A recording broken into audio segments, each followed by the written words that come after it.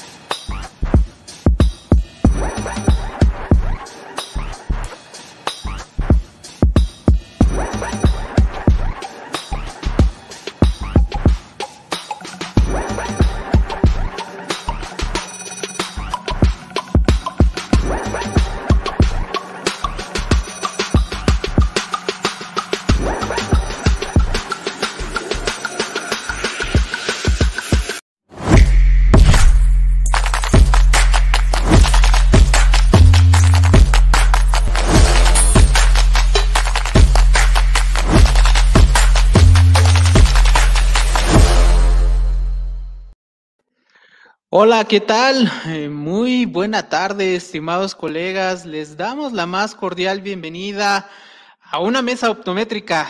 Sean todos cordialmente bienvenidos quienes están asistiendo aquí a YouTube. Directamente desde la Ciudad de México traemos para ustedes este foro en el cual buscamos que hagamos una difusión de optometría pura. La mera finalidad es que hagamos estas mesas con la idea y la intención de que generemos lluvia de ideas y que se vayan haciendo recurrentes, que participemos en diversas temáticas que como profesionistas que egresamos de aulas universitarias, pues tenemos la capacidad, la solvencia y sobre todo el conocimiento para poder hablar de esto. Agradecemos mucho a cada uno, a cada uno de los participantes que están integrándose, asistentes también que están viéndonos en, YouTube. Eh, escríbanos de favor, pueden ustedes escribir en el apartado, en el apartado de chat. Eh, si surge alguna duda, algún comentario, alguna situación que ustedes quieran emitir acorde a esta mesa optométrica, ustedes también pueden, pueden, pueden participar y que sea totalmente interactivo, interactiva esta, esta mesa optométrica. Pues vamos a arrancar con lo que es esta mesa optométrica. Escríbanos de favor desde dónde nos están desde, desde dónde nos están escuchando, viendo, si ustedes están aquí en la Ciudad de México, en alguna parte del el país, o si están en alguna, algún otro país, pues también eh, totalmente. Un saludo al licenciado Irving Martínez que nos está aquí ya escribiendo y ustedes también pueden hacerlo, colegas, pueden estar escribiendo en el apartado de chat sus dudas, comentarios y son totalmente bienvenidos. Pues vamos a compartir conocimiento y si ustedes también gustan, pueden también compartir el link que ah, en un momento eh, van a estar compartiendo en nuestras redes sociales. El ingeniero va a estar ahí compartiendo esta, este link y ustedes pueden hacerlo llegar y con mucho gusto para que más colegas se puedan, se puedan sumar a esta, a esta mesa optométrica. Pues vamos a arrancar con la mesa optométrica del día de hoy, en el cual traemos un tema muy interesante y vamos a presentar a los expertos en la materia, a diversos profesionistas, maestros, egresados de distintas universidades. Bueno, de hecho tenemos... Eh, colegas del Politécnico y de la UNAM, entonces va a estar mucho más entretenida esta parte, meramente sano todo, todo va a ser esto, pero vamos a iniciar presentando como se debe a cada uno de nuestros expertos. Y pues vamos a iniciar con la licenciada en optometría Judith Guerrero. Vamos a leer parte de la trayectoria de nuestra ponente. Ella es egresada de la Universidad Nacional Autónoma de México de la Facultad de Estudios Superiores. Es ponente del caso úlcera corneal bacteriana en el séptimo foro de casos clínicos, de igual forma en la FES Iztacala, ha tomado el taller de abordaje de problemas con enfoque multidisciplinario en la misma FES, cuenta con, es ponente más bien, fue ponente en el manejo de baja visión en un paciente con desprendimiento de retina por retinopatía diabética, ha participado en el taller diagnóstico y manejo optométrico de queratocono en la FES Iztacala. Cuenta con el diplomado de, de adaptación de lentes de contacto por cirugía refractiva de la FES Iztacala de la Universidad Nacional Autónoma de México. Y dentro de logros y distinciones que tiene nuestra invitada, pues es ganadora, fue ganadora del premio Gustavo Vaz Prada, designada por el Consejo Técnico como prestadora de servicio social más destacada de todo, de toda la UNAM. Pues bienvenida, Judith, ¿cómo estás?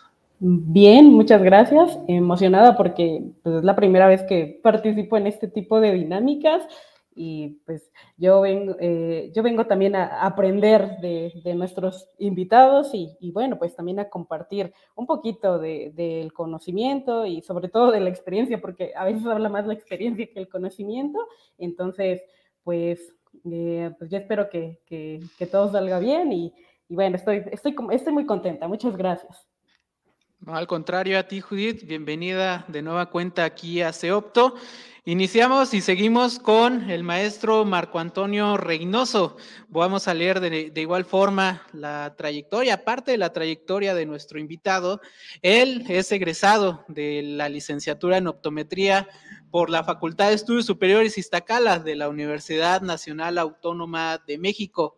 Cuenta con diversos eh, foros y diversas constancias, diversas asistencias a cursos, talleres, dentro de las que destacan la adaptación de lentes de contacto especializados, híbridos y escleral por parte de Lumilen, adicional del taller avanzado de ortoqueratología por el Instituto Politécnico Nacional, la, el SIX, Unidad Milpalta, miembro activo de YACLE, quien es la International Association of Lens Educators, profesor de asignatura A interino de lentes de contacto, espero haber dicho bien esa parte, asesor clínico en la clínica de optometría de lentes de contacto, ponente en el curso taller de reforzamiento de lentes rígidos permeables a los gases, dictaminador del trabajo de titulación de, por tesis y examen profesional, importancia de los criterios de selección para cirugía LASIK, instructor y ponente en el diplomado de ectasia corneal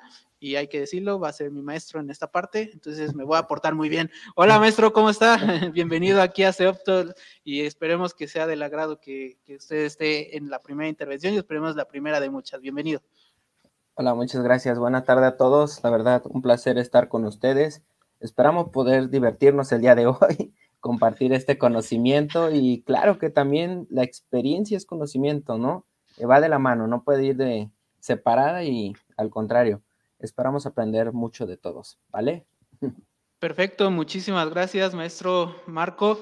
Pues seguimos, seguimos con el colega Christopher Contreras, quien es pasante de la licenciatura en optometría. Vamos a leer parte de igual forma de la trayectoria de nuestro invitado. Él es ya pasante y futuro colega y nos da muchísimo gusto que haya egresado ya de la licenciatura. Él es egresado del Centro Interdisciplinario de Ciencias de la Salud, Unidad Santo Tomás del Instituto Politécnico Nacional.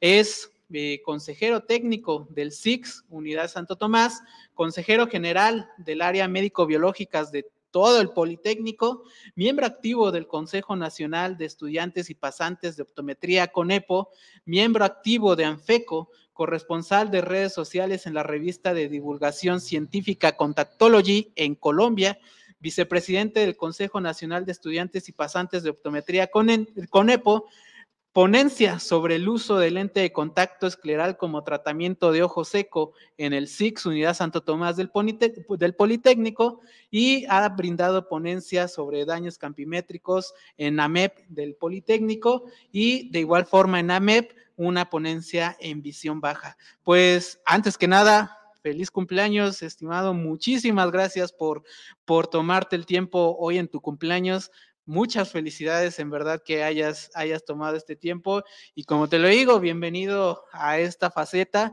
Esperemos que sea un muy buen inicio en tu cumpleaños y pues bienvenido, Christopher. Muchas gracias, Adrián. Muchísimas gracias por la invitación. Y pues igual como te lo comenté, para mí es un gustazo estar aquí en, mi cumpleaños. Me encanta hacer todo este tipo de cosas. Entonces, de verdad, muchas, muchas gracias. No me queda más que agradecer la invitación y esperar que, como comentan este, los colegas, los profesores, que todos nos divirtamos, que sea de la mejor manera posible y que sea el aprendizaje y la experiencia, pues lo que mande aquí, ¿verdad? Totalmente, totalmente de acuerdo. Y de igual forma, pues agradecemos a cada uno de los colegas que se está ah, ingresando aquí a YouTube. Vamos a hacer que estas mesas sean y que, ¿por qué no? Pues también que se hagan más recurrentes y que también si surgen otros proyectos, adelante. La primera finalidad es que hagamos, hagamos difusión de nuestra profesión.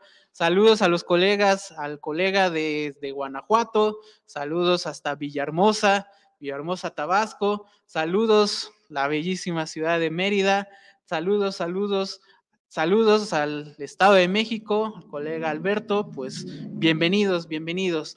Pues en esta temática vamos a estar mencionando y vamos a estar tocando diversos temas sobre lo que el optometrista tiene, tiene que involucrarse sobre el tema de las cirugías refractivas.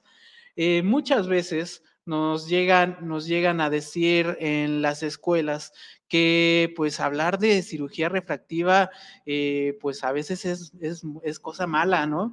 Eh, muchas veces llegamos a, hacer mención o inclusive a decirle al paciente que no, no debe de, escuchar esa palabra. Pero vamos a arrancar con lo que cada uno de nuestros ponentes eh, va a hacer mención y a propia palabra, criterio propio, va a contar con dos minutos. Dentro de estos temas que vamos a estar tocando va a ser qué es para cada uno de nuestros especialistas, expertos, qué es para ellos la cirugía refractiva, qué pruebas se deben de realizar, el optometrista y su relevancia en la consulta para un procedimiento de cirugía refractiva ¿Qué estudios se deben de solicitar? Debemos de mencionar en la consulta si el paciente es apto para este procedimiento y entramos a algo muy hermoso que es la contactología en cirugía refractiva. Para ello, pues vamos a arrancar, si me permiten, maestro Marco, queremos escucharle para usted qué sería el concepto de cirugía refractiva en el entorno optométrico. Bueno, bueno, eh, para mí el, concepto que debemos de tomar en cuenta para una cirugía refractiva eh, es que debemos de entender que de alguna manera el hecho de que tú le recomiendes o no a tu paciente este tipo de procedimientos, debes de hacerle entender al paciente también de alguna manera que su córnea va a tener un moldeamiento de esta superficie. ¿Eso qué quiere decir? Que para nosotros entonces esta cirugía refractiva va a ser aquel procedimiento quirúrgico que va a moldear esa superficie corneal. Creo que más que dar una definición como tal, sí me gustaría más bien que el optometrista entienda que el paciente sí pregunta por esas cirugías refractivas y debemos nosotros decirle, bueno, una cirugía refractiva debe de entrar en tu cabeza que va a moldear esa superficie, ese tejido que nosotros llamamos córnea. A partir de ello es que el paciente, pues algunos decidirán o no a realizarse ese tipo de procedimientos y creo que lo más importante es también pues saberlos orientar. Y algo que dijiste muy bien es, antes los profesores les tenían miedo a la cirugía refractiva, pero créeme, me da gusto que muchos hoy en día ya no lo ven como tanto, ya no lo ven como ese miedo y créeme que sí hay gente que ya, ya no sataniza esa cirugía refractiva, ¿no? Entonces, eso también es es, un pro de algunos profes. Obviamente te vas a encontrar de todo, pero de alguna manera yo de mi parte podría decir eso, que es una transformación, un moldeamiento a base de una técnica quirúrgica de esa superficie corneal.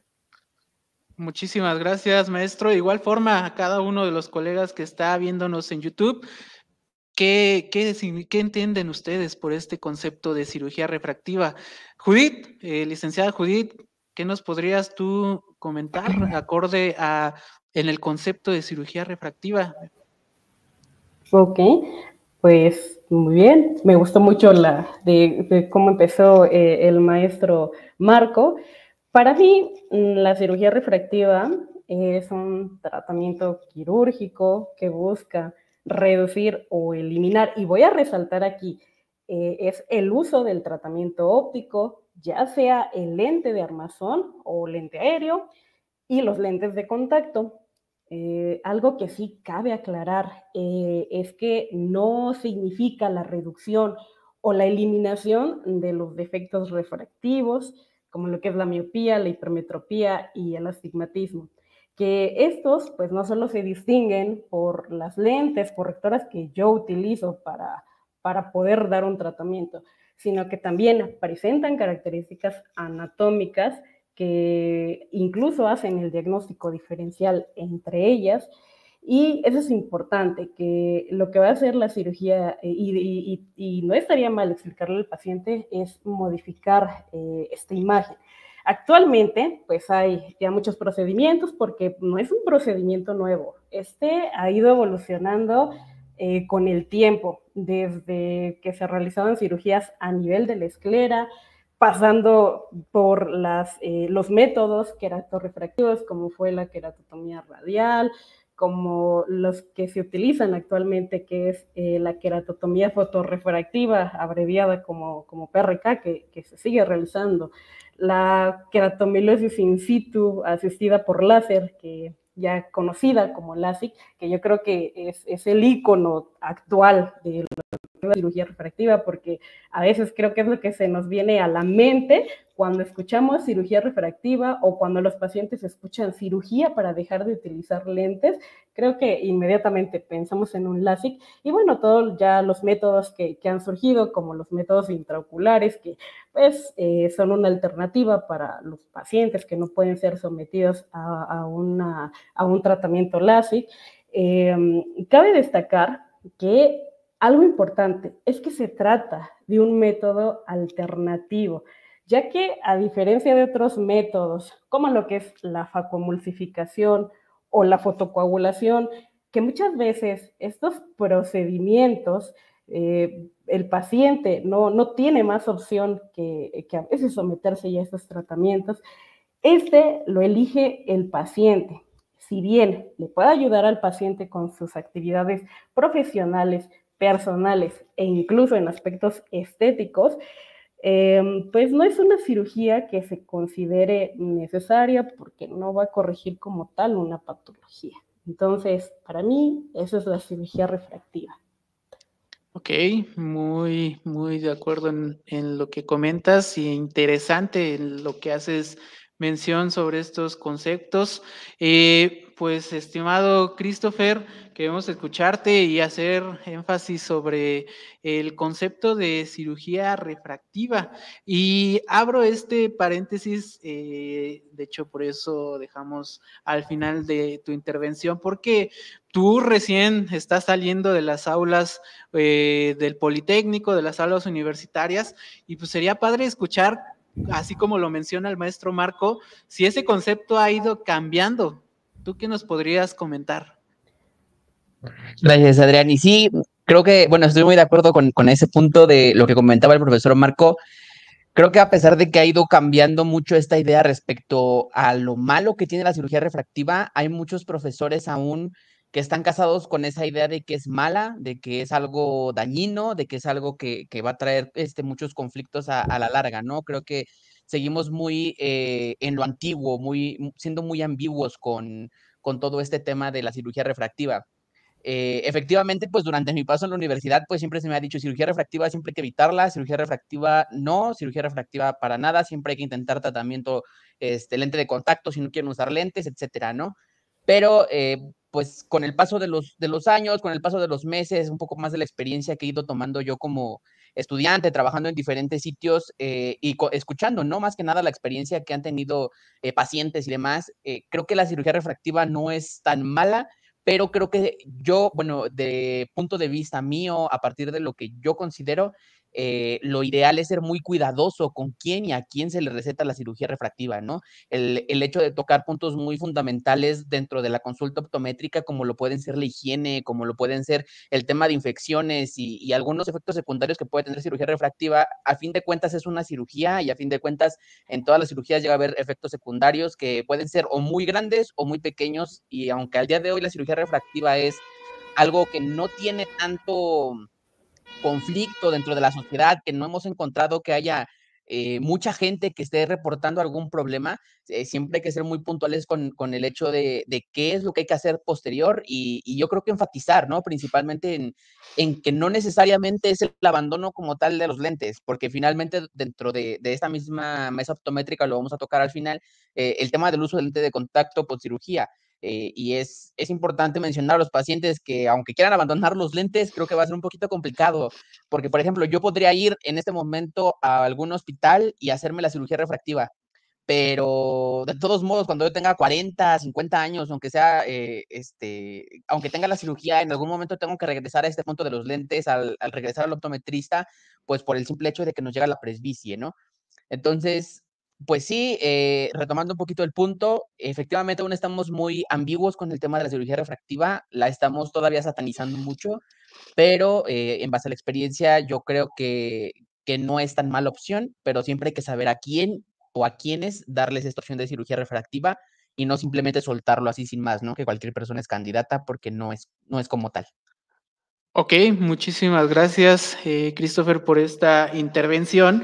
Y traemos aquí por parte de todo el equipo de CEOPTO en nuestra investigación sobre este tema de cirugía refractiva. Y quisiera que cada uno de ustedes me pudiera compartir su opinión y que considero que va a ser vital para cada uno de nuestros escuchas. Esta imagen que encontramos para, de parte del Instituto de Microcirugía Ocular, la cual hace unos puntos que hace mención que aquí son cinco y dice cinco consejos si quieres operarte de cirugía refractiva. El primero, confía en un oftalmólogo experto. El segundo, realízate una exploración ocular completa. El tercero, solicita información detallada. El cuarto, valora las expectativas con el cirujano. Y el 5, revísate periódicamente tras operarte. Judith, ¿qué nos podrías tú comentar acorde a esta imagen del Instituto de Microcirugía Ocular? Asentando eh, desde el primer punto, sí, de hecho, eh, toda cirugía eh, lleva una curva de aprendizaje y la cirugía refractiva no es la excepción. Entonces, pasa como todo. El oftalmólogo o, el cirujano, entre más eh, cirugías realice, pues obviamente le va a dar más apertura para tener una mayor experiencia y, por tanto aprender. Eh, de mi parte, yo he conocido oftalmólogos que han tenido muchos casos exitosos en cuanto a la cirugía refractiva, que era como ya lo comentaban eh, los, los, invitados, que sí, efectivamente a veces se suele satanizar o, tener este estigma de que la cirugía refractiva es mala, pero también ha, habido casos, se han reportado casos, así como se han reportado cosas malas, pues también ha habido em, casos exitosos. El segundo paso, que es eh, realiza una exploración ocular completa, por supuesto que se necesita, que yo creo que es un punto del cual eh, en un momento vamos a seguir hablando en cuanto a las pruebas, pero sí, es todo un proceso de selección, todos los pacientes deben pasar por un filtro.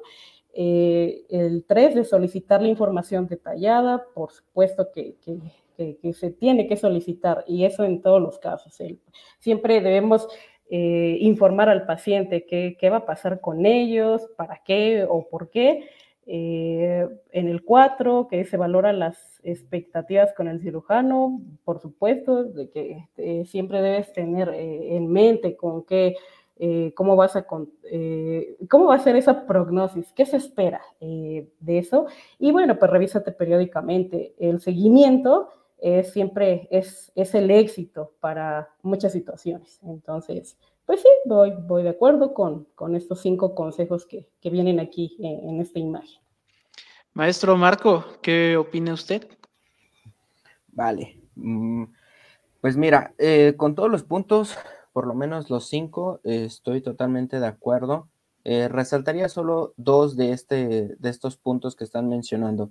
Uno, la información detallada. Creo que es vital entender qué tipo de cirugía refractiva se le está practicando al paciente, porque también debemos de entender que de acuerdo a la cirugía refractiva que se le esté practicando a cada uno de nuestros pacientes, puede tener ciertas, no complicaciones, pero sí ciertas reacciones que también deben de ser informadas al paciente y obviamente no todas las cirugías refractivas son lo mismo, ¿sale? Entonces, partiendo de ello, creo que sí es importante que conozca qué se le practicó, porque a mí sí me ha tocado ver pacientes que ni siquiera si saben si fue PRK, si fue LASIK, afortunadamente ya no hay radiadas, ¿no? Pero este, de alguna manera eso es importantísimo. Y el otro punto que me llama un poquito la atención, no quiere decir que esté mal, pero eso del oftalmólogo experto, como que digo, entonces los demás no son expertos o qué? Pues se supone que eso a mí me resalta un poquito, ¿no? Porque es como decir, yo soy el experto, pero ustedes no. O sea, esa parte a mí no, no me cuadra, ¿no? Creo que más bien a lo mejor si quieren detallar un poquito más en cirugía refractiva o, no sé, dar una recomendación que tenga años practicando esta cirugía, este, más bien eso de experto como que no, no me gusta mucho, ¿no? De alguna manera, creo que hay muchas subespecialidades, ¿no? Córnea, glaucoma, este, retina, etcétera. No sé, si quieren dirigirlo más hacia un especialista, pues bueno, valdría la pena si ellos quieren ponerlo ahí. Pero eso de un oftalmólogo, creo que con que tenga la experiencia, haga las cosas concordes y que no solo opere por operar, que tome en cuenta muchas este, de las cuestiones que vamos a mencionar más adelante, creo que valdría la pena de sentirse seguro. Y como optometristas, creo que tenemos un preámbulo muy importante y reiterar, eh, yo en lo personal no satanizo la cirugía refractiva, pero siempre trato de informar al paciente que si le van a tocar sus ojos, se tendrá que fijar en lo que mencionaremos adelante, porque eso sí, para mí es muy importante, que el paciente entienda que parte de su ojo ya no se va a volver a recuperar, ¿eh? Entonces, una vez, les digo yo, una vez cortado, no hay marcha atrás, puede haber ventajas, puede haber desventajas, pero tú tienes que estar de acuerdo con esas ventajas y desventajas. Partiendo de ello, creo que lo demás está muy bien. De hecho, a mí me encantaría que siempre los oftalmólogos dieran información detallada de lo que,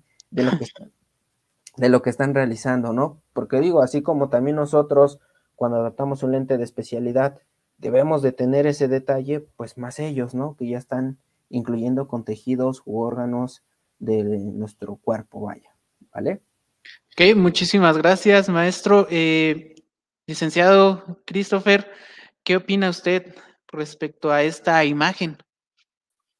Igual yo creo que retomando un poquito los puntos de, los colegas y ya puntualizando un poquito el tema también, eh, yo creo que también es una imagen eh, muy explicativa, una imagen que, que, da los consejos ideales, ¿no? Para hacer un preámbulo a la cirugía refractiva eh, sin embargo, igual me comparto la idea con el, profesor Marco, me saltó mucho el, tema del oftalmólogo experto y creo que también en este sentido estamos eh, todavía muy por las sombras, lo que es la optometría y en lo personal, ¿no? Desde, mi punto de vista de, querer eh, el hecho de que nos empiecen a tomar esa importancia, yo a esta imagen simplemente añadiría que quizás en, realizar una exploración ocular completa, hablar sobre optometría, ¿no? Hablar con, con un optometrista, o sea, además de confiar en un oftalmólogo experto, también es importante confiar en un optometrista experto, ¿no? No necesariamente experto, sabemos que, que todos estamos preparados en el área y sabemos lo que es bueno y lo que es malo dentro de la superficie ocular.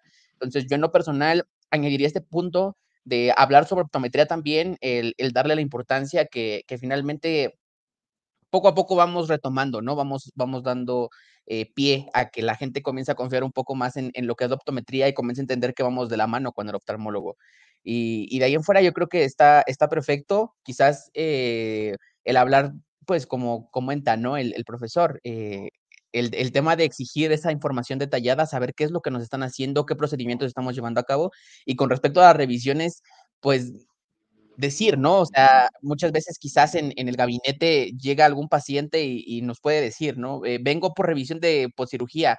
Pues sí, pero ¿qué quieres que te revise, no? O, qué es lo que te dijeron que tenías que estarte revisando. Entonces sí sería bueno también hacer especial énfasis en el hecho de qué es lo que ellos tienen que saber, ¿no? De qué tienen que revisarse, qué es lo que tienen que estar constantemente eh, verificando que esté bien la estructura ocular y nosotros como optometristas, eh, al hacer esa revisión, siempre decir al paciente qué es lo que está mal, qué es lo que está bien y, si hay algún cambio ¿no? sobre la superficie. Muy interesante los puntos que nos comentan aquí eh, los colegas expertos en esta mesa optométrica y tenemos opiniones de varios colegas que igual se están eh, mencionando aquí en YouTube. Pueden ustedes escribirlo y van a ir apareciendo los comentarios aquí en la pantalla. Nos mencionan aquí, debemos tener en cuenta la edad del paciente, ya que muchas veces se quieren operar ya grandes. Nos comentan aquí la colega Laura, un punto importante es que el paciente tenga expectativas reales del resultado. Muy, muy interesante esta parte. Aquí nos hacen mención. Es importante mencionarle a los pacientes que el hecho de hacerse la cirugía no significa que ya no va a volver a usar lentes, ya que los pacientes que tienen miopías altas no quiere decir que el globo ocular no siga en progresión el crecimiento en un momento dado, así como también no toda cirugía refractiva va a quedar métrope. Nos menciona aquí la colega Laura, que hizo la mención hace unos, unos segunditos, y hace mención que ella fue posoperada de LASIK hace más de 20 años. Mi experiencia personal con, como paciente es que me liberé de la dependencia de lentes. Ok, muchísimas gracias por los comentarios que cada uno de nuestros eh, colegas que están asistiendo eh, son muy, muy importantes y totalmente respetables. Pueden ustedes seguir, seguir haciendo ello y con gusto vamos a estar haciendo que aparezcan aquí en la pantalla. Seguimos con el siguiente punto. El siguiente punto habla sobre los estudios y las pruebas que debe de realizar el optometrista y sugerir y saber al momento de ah, estar en la intervención con un paciente que puede ser intervenido a una cirugía refractiva. ¿Qué nos podrías tú comentar, licenciado Christopher, respecto a estos estudios que, si bien los tenemos que conocer, algunos se dedican a ello y sobre todo los debemos de interpretar. ¿Cuál es tu opinión respecto a estos estudios y pruebas que debemos de realizar? Yo creo que es fundamental realizar principalmente, principalmente pruebas con respecto a la superficie corneal, lo que son queratometría, topografía y paquimetría, pues realmente el, hecho de tener un espesor corneal muy delgado eh, impide realmente en gran medida el, tema de hacer una cirugía eh, refractiva. Igualmente considero muy importante el tema de la agudeza visual, el tema de la refracción para saber cómo es que queda el paciente posterior a y principalmente el, hecho de la historia clínica. Creo que muchos optometristas eh, en general a veces dejamos de lado el tema de la historia clínica, el tema del interrogatorio, y es muy, muy importante eh, saber si el paciente no tiene algún antecedente de glaucoma, algún antecedente de diabetes o algún antecedente que, que pueda afectar directamente este tema de la cirugía refractiva, ¿no? Y eh, también, pues en lo personal, igual realizando la investigación respecto a, cirugía refractiva, leía yo que uno de los principales eh, problemas o efectos secundarios llega a ser el ojo seco, ¿no? Entonces, estas pruebas de, calidad lagrimal, de cantidad lagrimal y todo eso llegan a ser también muy importantes porque en lo personal yo creo que sería un poquito más contraproducente eh, dar el, una cirugía o el indicar una cirugía corneal a un paciente que tiene ojo seco, porque finalmente los estudios marcan que más o menos un aproximado de seis meses es que empieza a haber estos conflictos de lágrima, hay una deficiencia lagrimal considerable. Entonces, en un paciente con ojo seco que de plano tiene problemas lagrimales es un poquito contraproducente. Además, el hecho de hacer una bisuscopía quizá, eh, pues durante el procedimiento se usa anestesia tópica. Entonces, hay que ser muy cuidadoso con el tema de la cámara anterior, saber que no, sea, que no esté estrecha, que no sea eh, algo malo que llegue a, pasar, ¿no? Que podamos provocar algún tipo de glaucoma por cámara cerrada o, algo por el estilo, este, al, colocar el, anestésico tópico. En general, yo creo que esas son las pruebas más importantes que yo consideraría el hacer previo a una, a una cirugía eh, refractiva y que yo consideraría más importantes, ¿no? Lo, fundamental y lo principal. Y, como siempre, finalmente nos dedicamos directamente a la córnea, entonces el tema de la queratometría y la topografía corneal toman mucha, mucha importancia en, en, en el tema de, la, de los estudios previos a la cirugía. Muchísimas gracias por la intervención. Interesante los conceptos que nos comenta aquí el licenciado Christopher Contreras. Y queremos escucharte, Judith. ¿Qué, qué mención eh, nos podrías tú destacar en este, en este apartado? Bueno, pues en este caso complementar la, anterior participación. Efectivamente, eh, como optometristas, eh, podemos participar antes, durante y posterior a la realización de una cirugía refractiva. Efectivamente, primero un buen interrogatorio clínico, ya que pues bien realizado de entrada nos puede proporcionar información de nuestros pacientes, desde su salud general, la salud ocular, los antecedentes, si está tomando medicamentos, eh, en el caso de las mujeres, si están en estado de gestación, la edad, que también es algo importante, las actividades que el paciente realiza. Em, y bueno, pues eh, esto eh, sobre todo porque, como dicen, son, son varios métodos eh, de cirugía refractiva que al paciente se le pueden realizar. Y pues esta parte es un filtro muy importante y nos da indicaciones para pronosticar el resultado. Efectivamente, la retinoscopía llevada de la mano con la agudeza visual.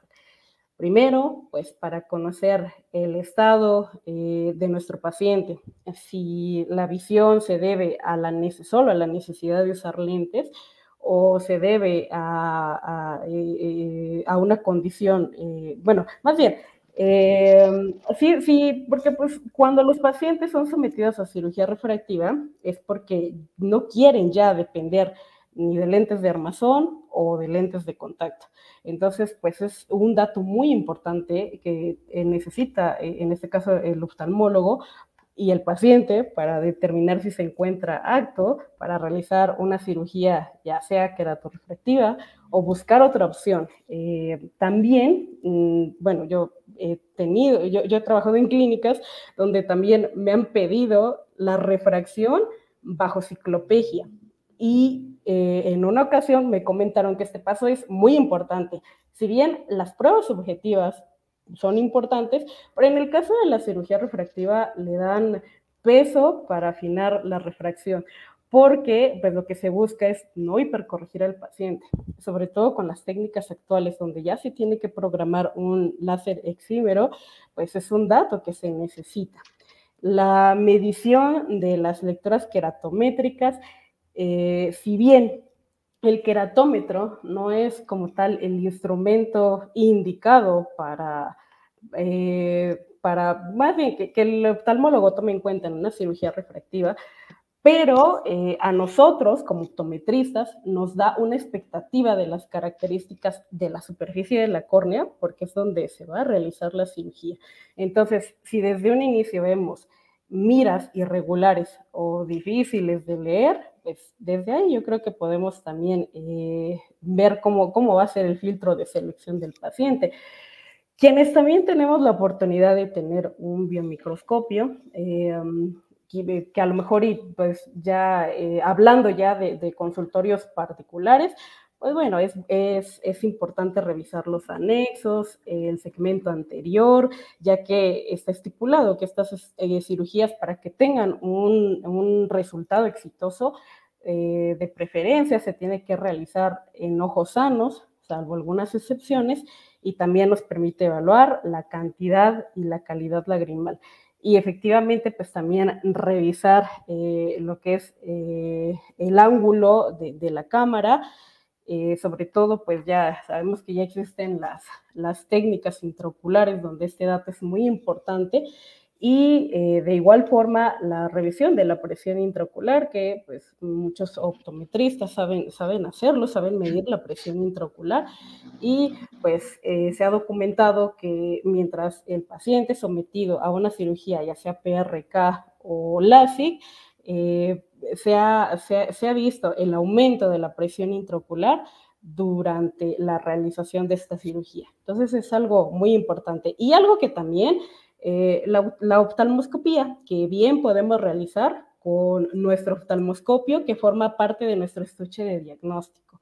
La salud de la retina y del nervio óptico también juegan un papel fundamental para la selección del paciente, puesto que si existen alteraciones de por medio que afectan la agudeza visual, pues puede que la cirugía refractiva no vaya a ser una opción. Entonces, eh, esas son las, pruebas que yo considero que son importantes para realizar eh, dentro de nuestro consultorio o gabinete, de nuestra práctica. Ok, muchísimas gracias, eh, licenciada Judith.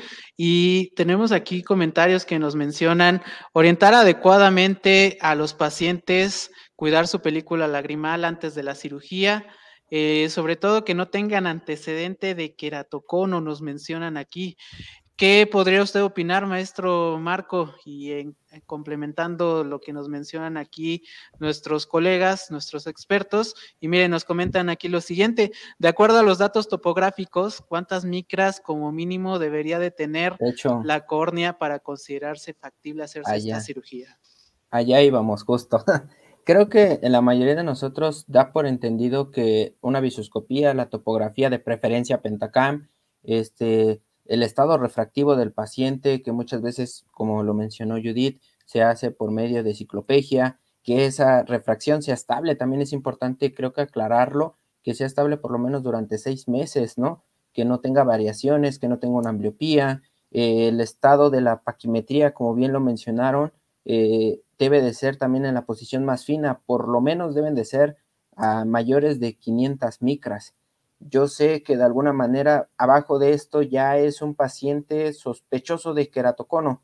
No quiero decir que ya tiene queratocono solo viendo el espesor. Obviamente esa topografía me va a dar más datos clínicos y por eso menciono de preferencia ese pentacam que estamos viendo en la imagen, porque ese estudio me permite de alguna manera tener una forma más detallada de la córnea. No quiere decir que otros topógrafos no funcionen, pero de alguna manera sí necesito tener una topografía donde me detalle eh, o tenga esa desnudez, digo yo, de la córnea, para yo saber a qué tipo de córnea me estoy enfrentando. Inclusive los mismos oftalmólogos saben a qué tipo de córnea están atendiendo y puedan ellos decidir de una manera más confiable si van a operar o no. ¿Vale? Partiendo de ello, creo que es importante entonces que el paciente entienda que también el estado refractivo es importante, que no piense que porque, vamos a ponerlo así, con sus lentes de armazón B2020, perdón, 2040, piense que con la cirugía refractiva va a haber 2020. Muchas de las veces no sucede de esta forma, o sea, prácticamente lo que ve con un armazón es lo que posiblemente e ideóneamente va a ver después de la cirugía refractiva, pero muchas veces nos damos cuenta que a lo mejor ve una o dos líneas de letras menos, ¿no? Entonces, es importante que eso lo entiendan. Yo tengo colegas, tengo amigos que se han operado de cirugía refractiva y siempre les digo, tú pregunta, tú has, eh, cuestiona esto, cuestiona aquello, y me ha tocado la fortuna que a donde han ido, sí les dan la información y sí les dicen que van a tener esos periodos de visión borrosa, que obviamente si tienen ojos secos no son candidatos, que de alguna manera sí debemos de tomar en cuenta esos estudios y esas observaciones, porque muchas veces piensan que ya el hecho de tener cirugía refractiva ya es me libero de los lentes totalmente y no sucede a veces al 100%. O muchas personas, repito, quieren ver a fuerzas 2020, pero después de hacer la cirugía no sucede eso. No estoy diciendo que siempre, pero sí corres ese riesgo. Entonces es importante saberlo porque a veces la expectativa de un paciente post cirugía nos pasa como con los lentes eh, de contacto, ¿no? La expectativa es alta y cuando no le das esa expectativa alta, eh, sí llega a haber un problema, ¿no? Entonces, como yo siempre digo, sobre aviso, no hay engaño, ¿no? Es un dicho que todos, todos conocemos. Eh, creo que es importante. ¿Qué puede hacer el optometrista entonces desde su gabinete? Ya lo mencionaron. Desde una queratometría, ojo, no le vas a decir solo con tu queratometría que ya es candidato, pero sí lo vas a orientar. Mira, yo desde tu queratometría veo que es una queratometría arriba de 48 dioptrías. Yo te recomiendo una topografía porque posiblemente tu córnea ya sea ectásica. Partiendo entonces de datos que tú conoces, vas orientando al paciente, inclusive, como dijo Judith, si tienes tu lámpara de hendidura, pues ver la película lagrimal, oye, veo que tienes ciertos signos de ojo seco, pues ya vas orientando al paciente que posiblemente por esas condiciones que tú encuentras, ya no es un paciente candidato a cirugía o inclusive si ya es paciente muy tuyo, pues tú sabes cuánto va variando su graduación cada año, cada seis meses, cada que va contigo, y eso también es otro factor. No quiero decir que es el más importante porque realmente, si somos sinceros, a veces no lo es, pero sí son datos que como optometristas creo que todos debemos de obtener en nuestra consulta y nos puede ayudar en eso, ¿vale? Entonces, por ahí respondimos una pregunta. Muchísimas gracias, muchísimas gracias maestro por la intervención y llegamos a unas preguntas que nos hacen aquí los colegas que se están conectando. Eh, no sé quién gustaría eh, contestarlas, si gustan pueden levantar la mano para que podamos brindarles la palabra. Y nos comentan aquí, ¿la operación SMAIL es menos invasiva o es igual de agresiva que la LASIK? ¿Quién gustaría contestarla?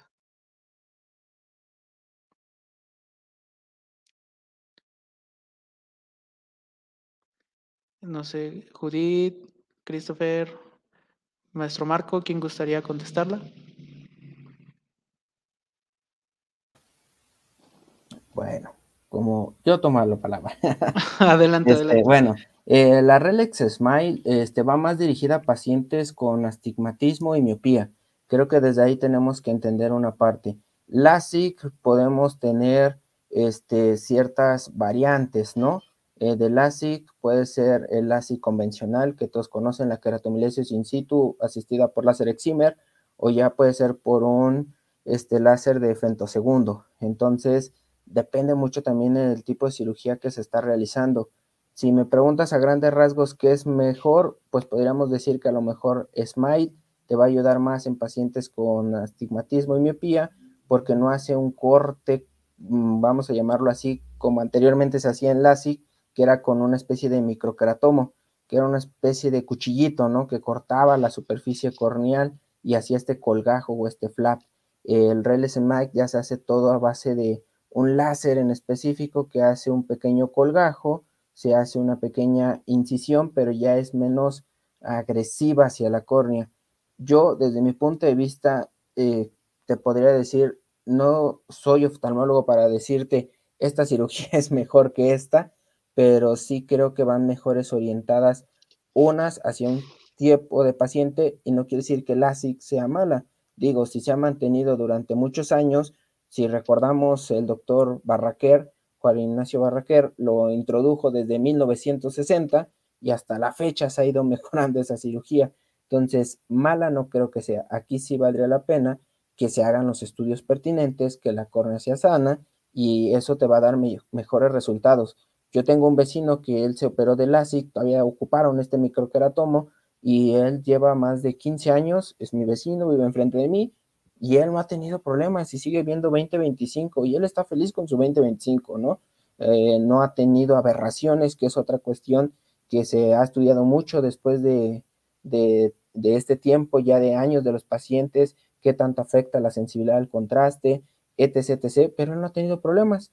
De hecho, él se operó porque quería jugar fútbol, ¿no? Entonces ya no quería usar lentes de, pues sí, de armazón y de contacto, porque realmente para él, para él eran molestos, ¿no? Entonces, vean, o sea, desde algo muy pequeño yo podría mencionar esa cuestión, que no considero, o no lo quiero poner así porque no soy el experto en cirugías, pero sí te podría decir que a lo mejor desde mi perspectiva, mal, es menos abrasiva o un poquito menos, pues sí, cortante hacia la córnea, generar esa ablación, ese flap, que el LASIK. Pero bueno, no sé, mis colegas. Y podríamos decir, maestro, no sé qué opine, que eh, el hablar de que un procedimiento quirúrgico no sea invasivo, pues prácticamente todos son invasivos, ¿no? Eh, por eso es la parte de decir, uno como optometrista, o sea, ¿realmente yo hago el corte? No. Eh, ¿Realmente yo hago ese flap? Pues realmente no. De hecho, hoy en día ya ni el cirujano lo está haciendo, ¿no? Ya se están haciendo estudios donde ya repito, ya la misma, el mismo equipo que se está utilizando, este, pues de alguna manera genera esa superficie, ¿no? Para evitar precisamente, pues esas, ese tipo de, complicaciones. Eh, estoy de acuerdo contigo en el aspecto de decir que es menos abrasivo. Yo siempre les digo, y por eso lo mencioné desde un principio, tomen en cuenta que cualquier cirugía, sea la más moderna del mundo, va a tocar tu córnea, la va a cortar, así sea para sacar ese flap que se generó, ese, ese, me refiero a flap que se hace un pequeño, como de alguna manera, pues sí, quitan una parte de tu córnea, ¿sale? Ese flap que se genera es una pequeña parte de tu córnea que ¡pum! se desprende, ¿no? Entonces siempre hacen ese, ese corte, como vemos ahí en la imagen. Entonces, pues de alguna manera eso quiero que se entienda.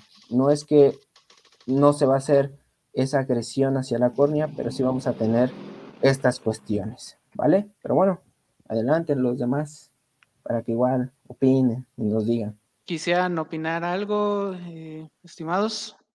De igual forma, tenemos. Ah, adelante, Judith. Eh, bueno, eh, ya solo para complementar y decir que también acabo de aprender algo nuevo, eh, efectivamente es recalcar al paciente, que era lo que decía hace rato el maestro Marco, que todas las, en este caso la cirugía refractiva va a ser un procedimiento irreversible. Una vez realizada, la córnea ya no va a poder regresar a su estado inicial. Y bueno, pues al ser una intervención, eh, si bien ya eh, hay estudios que nos pueden dar una prognosis de cómo se va a comportar el tejido antes, durante y después, como el conteo de células endoteliales, em, es, eh, es darle seguimiento, ya que pues no tenemos realmente las expectativas de cómo se va a comportar realmente ese tejido eh, durante el tiempo en el que eh, el paciente eh, va a tener una vida productiva a, raíz de la cirugía. Entonces, pues sí, igual es eso recargar, va a ser todo procedimiento que sea invasivo, va, va, a ser irreversible. en este caso, hablando ya de la cirugía refractiva. Muchas gracias. Y estimado Christopher, mira, tenemos aquí otro comentario que nos mencionan, eh, piensan que es magia. ¿Qué nos podrías tú hacer mención de, esto que nos escriben?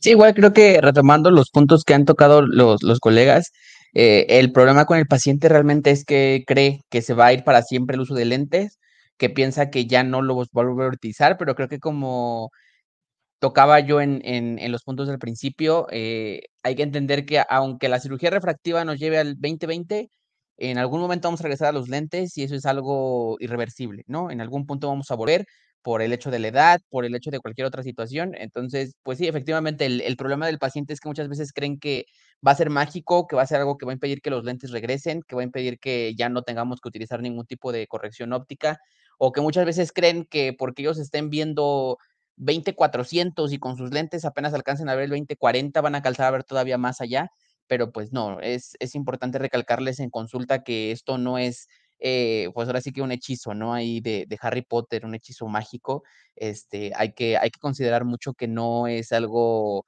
eh, una varita mágica, ya te voy a regresar toda tu visión, pues no, ¿verdad? Es, es importante mencionarles que hasta donde alcancen a ver con lentes es hasta donde van a alcanzar a, a ver tras las o tras cualquier otro tipo de cirugía este, refractiva.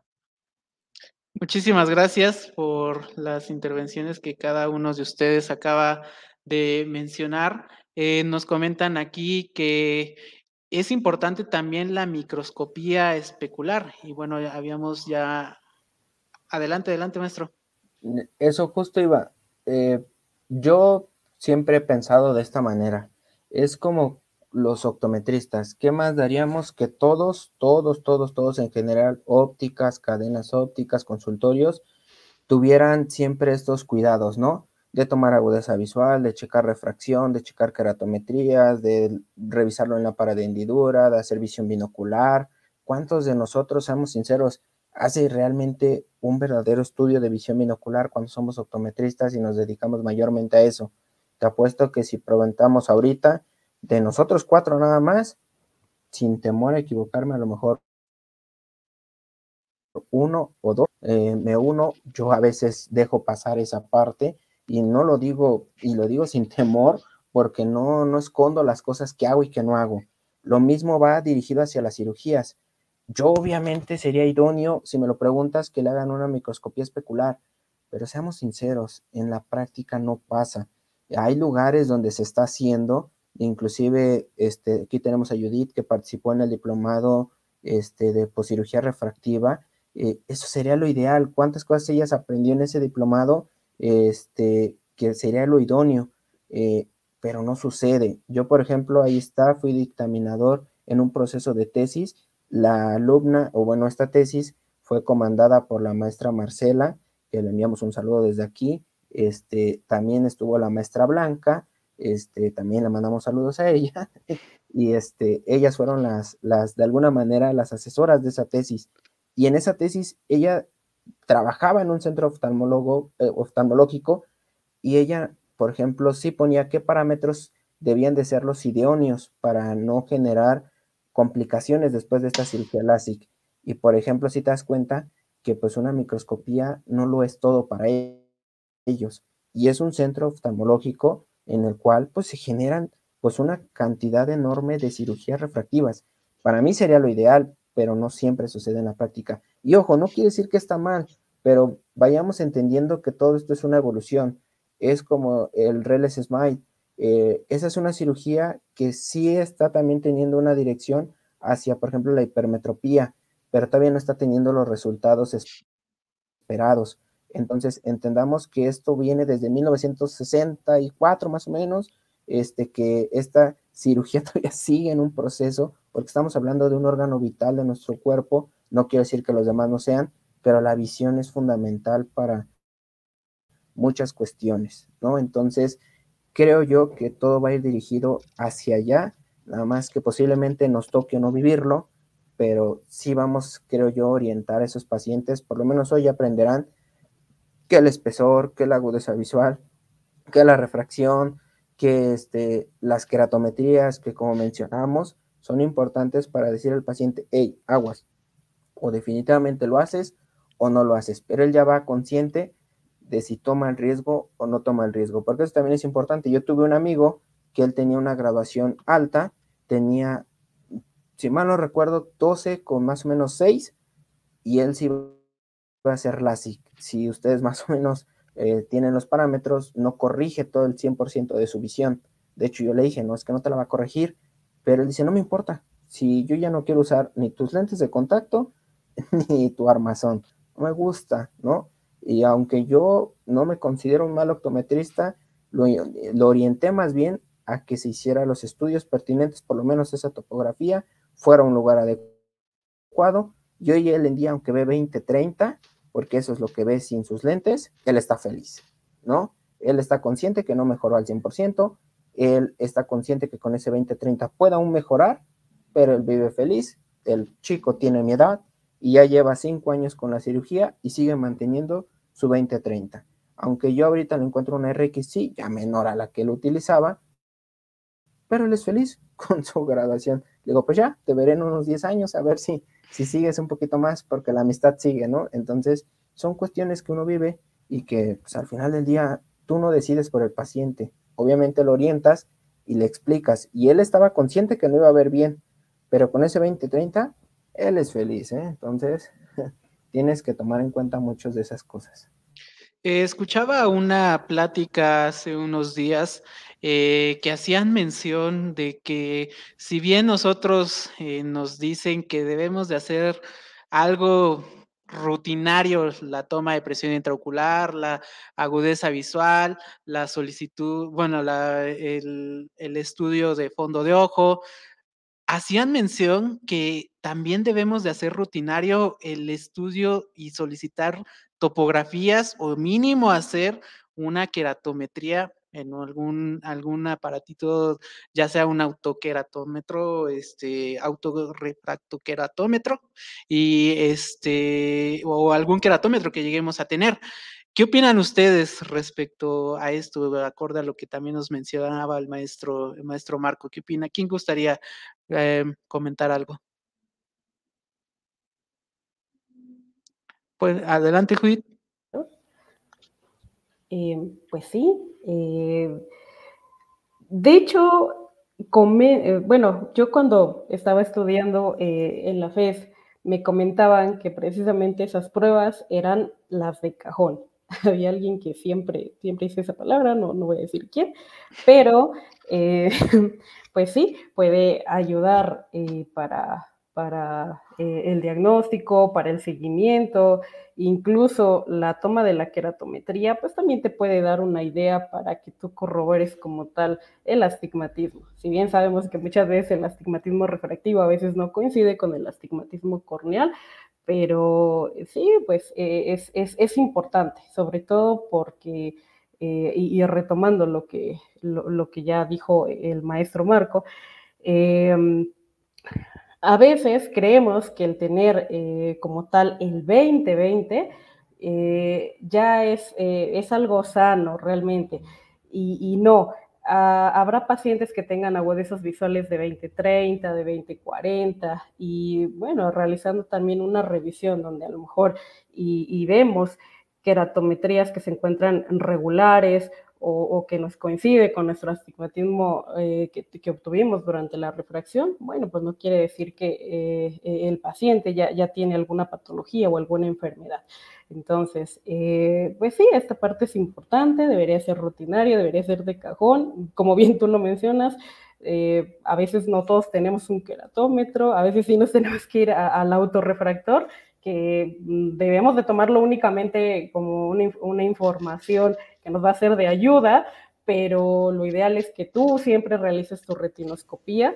Y bueno, pues algo que, eh, retomando también lo que decía el maestro Marco, precisamente la, la maestra Marcela, eh, este comentario ya enfocado a, a, los lentes de contacto, ella mencionaba, no todos los pacientes buscan un 20-20, sino a veces buscan un 20 happy que pues, es ese, esa agudeza visual que le va a dar al paciente para poder realizar sus actividades profesionales y personales. 20 happy, suena, suena interesante. Eh, ¿Alguien gustaría complementar esta parte? Adelante. Adelante, Christopher. Adelante, Christopher. Yo, bueno, hay algo que me causa mucho eh, gracia, entre comillas, y conflicto ahorita que mencionaba la, la profesora Judy eh, el hecho de que siempre buscan los pacientes ver 20 happy. Eh, yo creo que lo que yo cometí error o cometía el error al principio cuando comencé con el tema de la práctica clínica es que no era el paciente quien buscaba el 20 happy, sino lo buscaba yo, ¿sí? O sea, yo como optometrista buscaba fuerzas llevar el 2020 al paciente y, yo creo que eso es algo completamente eh, erróneo, ¿no? Eh, completamente pensar que todos los pacientes tienen que llegar a 2020 si no estás haciendo un mal examen optométrico. Y pues no, no es así. Entonces, pues igual, o sea, hablando respecto al tema de cirugía refractiva, creo que es muy importante este punto de decir, no cualquier paciente va a llegar al 2020, hay pacientes que incluso van a llegar hasta 2012, quizá 2015, pero no todos es necesario que lleguen a 2020, ¿no? Y, el hecho de tener estos estudios, pues, pues como lo comentan, de cajón, es muy importante realizar eh, todo el tema de la agudeza visual hasta, hasta la keratometría y, pues yo coincido completamente con, con, los colegas, ¿no? Al final de cuentas es eh, el tomar el de apoyo el autorrefractómetro creo que ya es como, como nombre, ¿no? Si, si no tenemos otra opción, directamente autorrefractómetro. De otra manera, creo que, que sería principalmente omitirlo y no siempre pensar que el 2020 es el punto fundamental para que el paciente vea bien. Quizás el paciente vino viniendo, este, perdón, vino viendo eh, 20-400, 20-800 y nosotros ya le llegamos un 20-50, un 20-60, para el paciente ya es un cambio eh, radical, enorme, que para él pues será lo mejor. ¿Agregaría algo, maestro Marco? Este, sí, nada más rápidamente. Aquí mm, sí es si quieren verlo así, crítica hacia nuestros colegas, es que a veces no nos, no nos queremos actualizar en ciertos puntos. Y lo digo por propia iniciativa, ¿no? Cuando yo empecé a adaptar lentes de contacto, recuerdo que solo ocupaba mi lámpara este, de mano, eh, utilizaba mi caja de pruebas, mi fluoresceína. ¡Pum! Se acabó, ¿no? Y yo decía, con eso nada más puedes hacer cualquier adaptación. Sí, puedes hacer una adaptación. La pregunta es, qué tanta adaptación de calidad es, ¿vale? Entonces, creo que esa parte de la calidad que le debemos de dar a nuestros pacientes eh, es importante. Yo lo he aprendido conforme me voy dando cuenta que los pacientes tienen necesidades, que cada paciente es distinto. Yo antes, y lo digo a título personal, pensaba que el queratómetro no era indispensable. Y hoy en día digo, ah, no atiendo a un paciente si no tiene queratometrías y hazle como quieras, ¿no? Porque yo quiero saber por lo menos eh, radios de curvatura para saber, darme una idea e imaginarme ya en mi, en mi cabeza qué tipo de paciente este, estoy atendiendo. Si de alguna manera tú me dices, oye, que yo más bien he escuchado que ahora lo ideal sería que todos tuviéramos una topografía, la pregunta es, sí, sería lo ideal, pero también la pregunta es, ¿cuántos son capaces de pagar una topografía? Si realmente el que está atendiendo pacientes está teniendo un valor adquisitivo alto, eh, realmente los pacientes que tienen estas enfermedades como ectasias, este, pues realmente son pacientes que económicamente no tienen demasiado dinero, ¿no? Realmente no estamos en una sociedad en la que todos podamos pagar una consulta como en Estados Unidos, que ellos, sus mismos seguros, realmente pagan esas, esas, este, esas consultas. Aquí, ¿cuántos de nosotros tenemos un seguro? ¿No? Entonces, esa parte de educación en cuestión de salud a nivel general, no estamos todavía en esa globalización. ¿Que sería idóneo? Sí, pero no creo que todos este, debemos de aprender que en vez de invertir 40 mil pesos en unos lentes ray porque quiero tener toda la línea de ray para mis pacientes, pues mejor de esos 40 mil, invierte a lo mejor si no quieres un caratómetro nuevo, pues, o un auto, pues hay usados, que no está mal, si están bien calibrados, hay lugares donde lo puedes comprar. Invierte la mitad de ese dinero en un queratómetro y lo demás en los ray que tú quieras utilizar, ¿no? Es ahí donde va un poquito más mi crítica, que no queremos actualizarnos y que queremos solo pensar en vender. Eso sí va para los optometristas, este, que nos sigamos aprendiendo y aprendiendo nuestros errores. Me uno, yo también pensaba antes de una manera y hoy en día, conforme te atiendes pacientes, te das cuenta de esas necesidades, ¿vale? Pero bueno, todos estamos para aprender. Nada más. Muy de acuerdo. Muchísimas gracias a cada uno de ustedes por la intervención y nos da la pauta para esta pregunta. Y ahí podríamos hacer un censo de cuántos y cuántos, si hacemos esta pregunta y si, si es válido, también hay que decirlo y creo que podemos entrar en una controversia al momento de hacer esta pregunta. ¿Se debe de mencionar en la consulta que el paciente es candidato para cirugía refractiva? ¿Qué opinas, Judith, respecto a esto? ¿Se le debe de mencionar al paciente como una opción más? Ok, bueno. Ah, Theodor Grosvenor menciona en su libro eh, optometría de atención primaria, que los pacientes que sean considerados candidatos para ser sometidos a una cirugía refractiva, lo ideal es que sean reclutados por el oftalmólogo y que sean ellos quien finalmente le dé un informe del proceso. Sin embargo, el optometrista, que ya vimos que tiene una gran participación durante los filtros de selección y que es em, responsable, eh, más bien es su responsabilidad mm, tener la información acerca de, las, de la cirugía refractiva, sí puede emitir una opinión al paciente. Pero para que esto sea posible, el optometrista debe tener un conocimiento fundamentado de todo el proceso de la cirugía. Y aunque no estemos de acuerdo con la cirugía refractiva, lo ético siempre es mantener una postura imparcial, es decir, ni a favor, porque pues, lamentablemente existen riesgos y complicaciones que siguen siendo el objeto de estudio en la actualidad, pero tampoco en contra, porque así ya, ya lo había yo eh, mencionado hace un momento y ya lo habían dicho eh, Christopher y, el maestro Marco, eh, se tiene el reporte de casos que han salido mal pero también existe el reporte de los casos exitosos. Sobre todo, pues si somos optometristas que trabajamos en conjunto con oftalmólogos. A veces em, ellos nos comentan que esta parte pues no nos debería eh, corresponder a nosotros por ética, pero pues sí, yo creo que podemos emitir una opinión. Eh, finalmente, nunca debemos eh, dar por seguro que algo va a pasar. Nunca debemos poner esa expectativa al paciente de, lo, que, de, lo que va a pasar. Es siempre mantener esa postura imparcial. Eh, y, obviamente, pues sabemos que, el paciente va, va a estar eh, sujeto a varios filtros de, de, selección. Entonces, es pues ya comentarlo, ya hasta que tú tienes todas estas pruebas y obviamente que tú tengas todo este conocimiento fundamentado para poder emitir esa opinión. Muchísimas gracias, eh, licenciada Judith. Muy interesante los puntos que nos comentan. Aquí voy a leer algunos de los comentarios de los colegas. ¿Qué opinan ustedes, colegas? ¿Se debe mencionar en la consulta que el paciente es candidato para cirugía refractiva? Había un, comentario que nos ponen aquí, yo creo que sí. Eh, les mandan aquí saludos, saludos, este profe Marco y Judith. Pero queremos escucharle, maestro Marco, ¿qué opina usted? ¿Se le debe mencionar al paciente?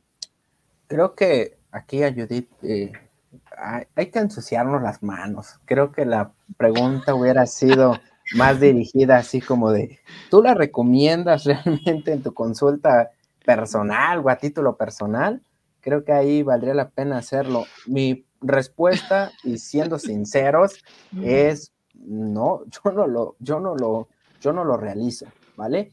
No tengo miedo al decirlo, pero el hecho de que yo no, yo no sugiera una cirugía refractiva no quiere decir que estoy en contra de una cirugía refractiva. Creo que son dos puntos muy diferentes. Yo he aprendido mucho de los pacientes por, por cirugía refractiva pero también de alguna manera no satanizo esa parte. Yo lo que siempre, si un paciente me lo pregunta, siempre le digo, perfecto, mira, yo en tu examen tomé estas queratometrías, queratométricamente yo te veo estable, la refracción te hemos visto durante un tiempo, la verdad es que te digo, ok, pero ojo, todavía me falta hacer un estudio de topografía corneal, si te lo quieres hacer, es, tengo este lugar donde te hacen este pentacam, te va a costar tanto, ese mismo pentacam te va a dirigir hacia un profesional que es el oftalmólogo para que ya veamos toda esa parte de si eres candidato o no, porque seamos sinceros, yo no voy a operar al paciente, pero ya lo voy orientando a todas esas características. Mm, yo no lo hago, pero eso no quiere decir que cuando me lo preguntan, este, no oriente al paciente. Creo que es esa parte importante, ¿vale? No sé si en el futuro cambie mi forma de pensar, posiblemente sí, posiblemente no, pero creo que al final del día no, yo no satanizaría a un optometrista diciendo que manda a todos sus pacientes a cirugía refractiva, pero tampoco este, mm, sería algo que yo de momento realice. A mí, aunque venga el mejor corneólogo del mundo y me diga, mándame a todos tus pacientes, la verdad es que no lo haría, ¿sale? Yo en lo personal no lo haría así, él me pague los millones. ¿Por qué? Porque lo dije desde que entramos. Para mí una cirugía refractiva va a tocar córnea y tocar córnea para mí ya es algo así como de, ay, es como uno. A mí me dicen, oye, te voy a parar tu ojo. Sí, pero ¿de qué? ¿Por qué? Si yo veo bien, no necesito esa parte, ¿no? Entonces, es a título personal, es simplemente eso. Creo que no satanicemos, pero sí orientemos a los pacientes para que se hagan de la forma correcta todo, ¿vale? Pero bueno, a ver, nuestro compañero también que ¿Qué opina? Digo, al final del día es, es esa parte. Adelante, Christopher, ¿qué opinas tú sobre esta pregunta si se le debe de mencionar al paciente como alternativa? Yo creo que, como dice el dicho, ¿no? Cada par con su par y cada quien con su cada cual, ¿no? Eh, ahora sí que cada quien a lo suyo. Yo creo, yo en lo personal considero que no, porque eh, lo mencionaba la, la profesora Judith, es algo que no nos compete, es algo que no es para nosotros, que nosotros no lo realizamos, como lo menciona el profesor Marco, lo realiza un oftalmólogo, lo realiza otro especialista, y yo, yo estoy de acuerdo, ¿no? El, hecho de decir, no voy a satanizar, no lo voy a decir, no lo hagas, no lo voy a decir, es peligroso, no lo voy a decir todo lo malo que tiene la cirugía, pero sí decirle, eh, si el paciente me lo pregunta principalmente, ¿no? O sea, no, no tanto yo agarrar y decirle, ¿usted es candidato a una cirugía corneal? Este, no, yo creo que más bien si el paciente dice, oiga, usted eh, me puede orientar, me puede ayudar con respecto a ver si, si yo soy o no candidato a una cirugía corneal, ok, está bien, eh, se le explica qué es la cirugía corneal, se, eh, se, le notifican cuáles son los procedimientos y pues se le especifica que finalmente nosotros no hacemos nada, nosotros no tenemos una participación activa dentro de la cirugía, pero sí tenemos una participación activa pre y post a la cirugía. Y creo que aquí es cuando entra mucho el trabajo multidisciplinario, o interdisciplinario, finalmente somos área, área médica, y decir, eh, canalizar al oftalmólogo, pero así como canalizamos al oftalmólogo, el oftalmólogo nos regresa al paciente para poderlo seguir revisando y darle estas revisiones. Y si encontramos algo raro, va de nuevo al oftalmólogo y así sucesivamente, ¿no? Pero yo, eh, desde, mi, desde mi punto de vista, desde mi opinión personal, no recomendaría directamente al paciente cirugía corneal, a menos que él me diga, usted considera que yo soy candidato a, ok, mandamos a hacer más estudios y, le digo qué es lo que necesito yo saber para decirle si es o no candidato desde mi punto de vista y que finalmente mi punto no es el, el, del especialista, ¿no? Tiene que ir a un oftalmólogo y el oftalmólogo tiene que evaluar si sí o no es candidato directo a la cirugía corneal. Yo le puedo dar un preámbulo, pero no le puedo decir si hágalo. Eh, ¿Va a comentar algo, maestro? Mm, sí, anudando, me gustó un poco lo que dijo este Ah, perdón, se fue Christopher, perdóname, ese me fue el nombre. Este, nuestro colega Christopher, porque es cierto, empecemos por lo nuestro. Y lo nuestro es empezar a recomendar todas las ayudas que yo como optometrista puedo dar antes de pasar a otra área como es la cirugía refractiva, ¿no? Entonces empieza recomendando lo mejor para tu paciente, que no solo sean unos lentes de esos que se venden pregraduados, que ya empieces a vender una mejor calidad de lente, posteriormente también te, tengas siempre rangos de precios porque no todos van a ser capaces de pagar la mejor lente del mundo. A partir de ahí tengas diferentes calidades en todo esto. Después, ¿por qué no mencionarle lente de contacto, hacerle las pruebas de lente de contacto? Inclusive a mí me sorprende muchos que ni siquiera cobran su adaptación, ¿no? A veces a mí me piden ayuda para adaptar un lente y yo luego les menciono, te ayudo, pero te cobro tanto porque para mí es un trabajo y me ha costado aprenderlo.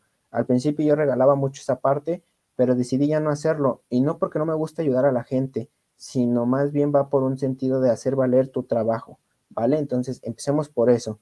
Ya posteriormente, ya si quieres pasar a otro preámbulo, yo agradezco mucho a mis colegas optometristas que trabajan con oftalmos que operan, que me dicen, no, aquí aunque el oftalmo luego empiece a decirme que la córnea es 450 micras, y, ya lo quieren operar, porque sí, sí los hay, y no tengo miedo al decirlo. Este, hay oftalmólogos que sí se avientan a operar por a veces querer cobrar, pero también hay optometristas que orientan al paciente y le dicen, mira, tu espesor ya está bajo del límite, aunque el especialista mencione que eres candidato, pues yo te mencionaría que a lo mejor pidas una segunda opinión, que cheques esto y orientan a ese paciente. Yo agradezco a esos optometristas, así como también agradezco a los oftalmos que son sinceros en su trabajo y que te dicen, no, mira, ¿sabes qué? Ya no vamos por el espesor, vamos por cuestiones de keratometrías.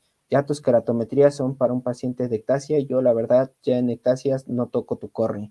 Sale, mejor te dirijo con otra especialidad y regresan ahí sí los pacientes a los optometristas esos oftalmólogos también yo he conocido algunos muy buenos y la verdad también agradezco que muchos, y creo que sí se están habiendo un preámbulo, pero ese preámbulo es porque nosotros como optometristas también empezamos a generar este cierto, pues sí, cierto mandato en nuestro conocimiento, ¿no? Entonces, eh, yo aportaría nada más esa parte. Muchísimas gracias.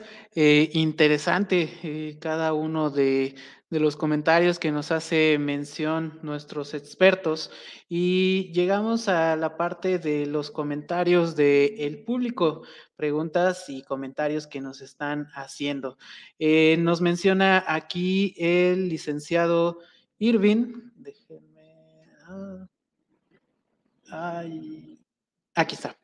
Nos comenta, siempre hay un riesgo al hacer las cirugías, ya que hay varios pacientes con ectasias post-LASIK. Nos comentan aquí el colega Gustavo de Luna.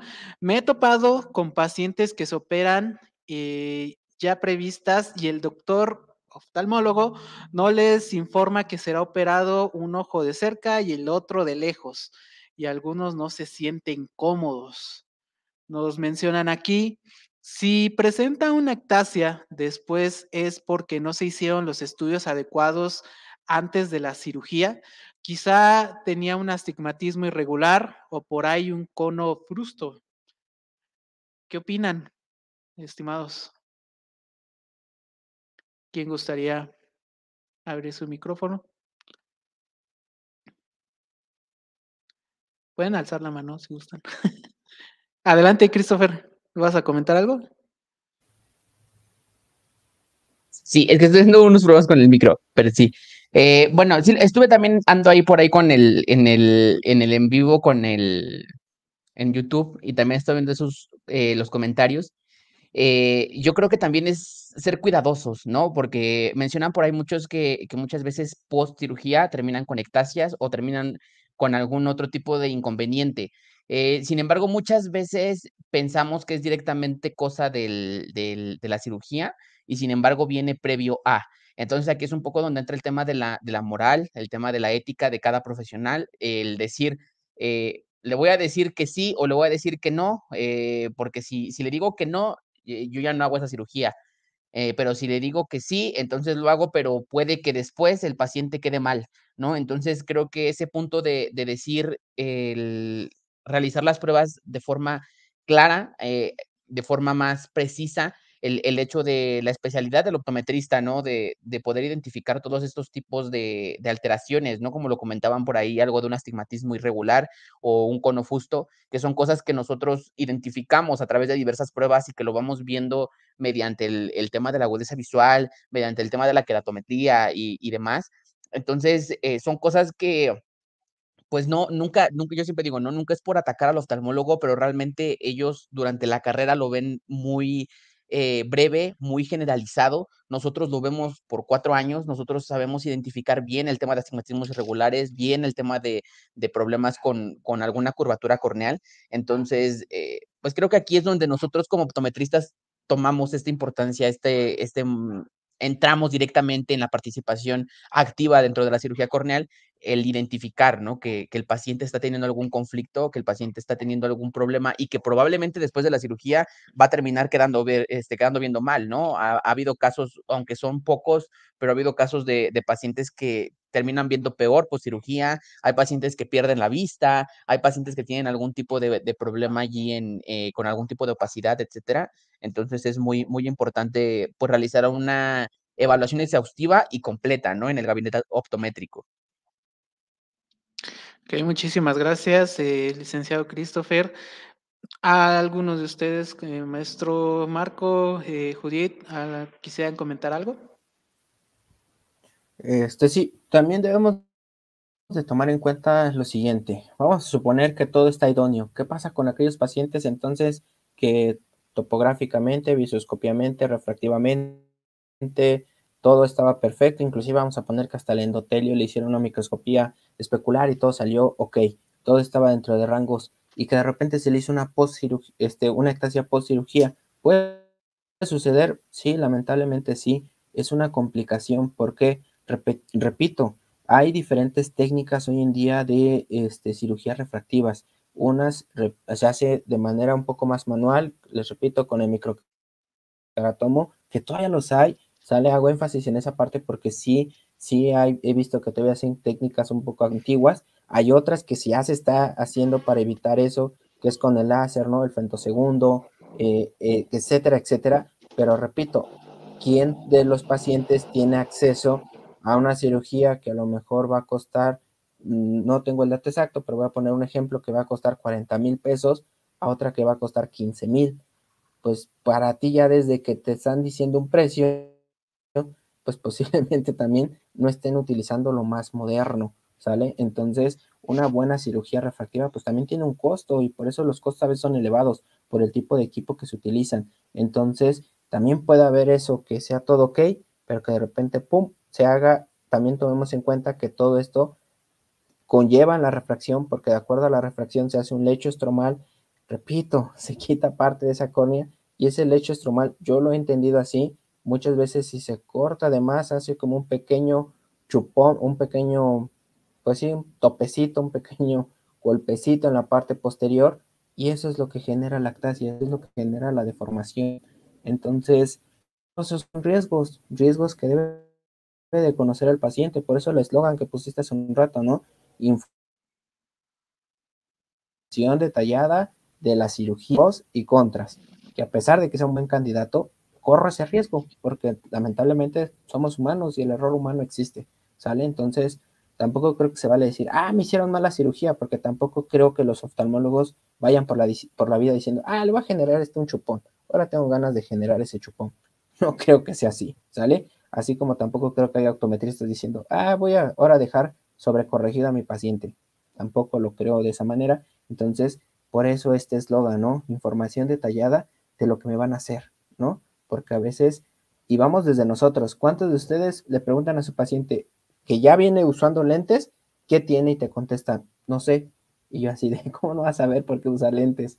Y te ríes, ¿no? Yo a veces me río y le digo al paciente, perdón, pero es que sí es importante que usted también entienda, cuestione al optometrista, que por qué me va a poner lentes, qué tengo, en fin, o sea, también es parte de su información, ¿sale? Entonces, yo lo veo desde ese punto. Judith, ¿te gustaría agregar algo? Sí, eh, bueno, eh, nuevamente retomando que la cirugía refractiva, a fin de cuentas, es un proceso alternativo porque nosotros como optometristas conocemos diferentes opciones de tratamiento óptico para el paciente, desde mm, que conocer los diferentes materiales con los cuales se puede realizar un tratamiento eh, óptico como un lente aéreo o los materiales y las opciones que tenemos para lente de contacto, pero eh, definitivamente yo, yo siempre voy a decir que, que la cirugía refractiva es un tratamiento el cual el paciente eh, va a elegir, es, es, elección, porque pues si bien no eh, hay cirugías o procedimientos que ya el paciente no, no tiene eh, la posibilidad de elegirlo, en este caso pues siempre va a ser un tratamiento de elección y pues efectivamente comentarle al paciente acerca, bueno, expectativas y riesgos y eh, posibles cambios. Hay algo que también mm, a mí me gustaría eh, comentarlo, va a sonar un, poquito oscuro, pero esta es una experiencia que yo tuve en algún momento en un lugar en donde lamentablemente también hay otra cara, ¿no? Donde em, obviamente el, adquirir estos eh, aparatos como el láser Excimer no, no, no es algo barato, realmente tienen un costo. A veces las clínicas o los consultorios eh, tienden a tomarlo como una renta o, incluso a, irlo pagando poco a poco a, crédito y todo. Y em, me tocó ver en un momento que ya estaban tan presionados por ya eh, costear eh, o, que, o tener esa inversión de lo que venía siendo el aparato, que pues, lamentablemente los filtros de selección ya no eran como tal eh, cuidadosos, sino que tuvieron de vamos a tomar a, personas de prueba porque pues aquí necesitamos eh, realmente cubrir ese costo. También es esa parte en donde a veces al oftalmólogo le piden que coste esta parte o bien pues le exigen que tenga eh, ciertas cirugías para poder, no sé, tener un costo, perdón, tener una, una comisión, un retroactivo. Em, de hecho, la publicidad juega mucha parte eh, en todo esto. Desde que comenzó, eh, ha habido reportes donde se ha hecho publicidad hasta de forma, no lo consideran agresiva, porque era ya muy frecuente, en donde también eh, había incluso publicidad en donde decían ya libérate de, los lentes de armazón, libérate del peso de los lentes de contacto, de estarlo poniendo del diario.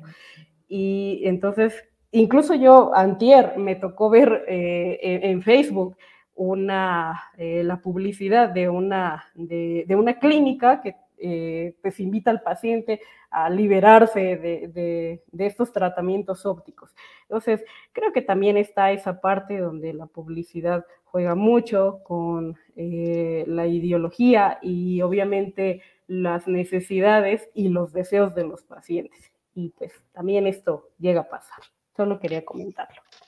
Muchísimas gracias eh, por la intervención y de hecho, mira, aquí comentan Judith, estoy de acuerdo con la doctora Judith, eso es muy cierto y lamentable.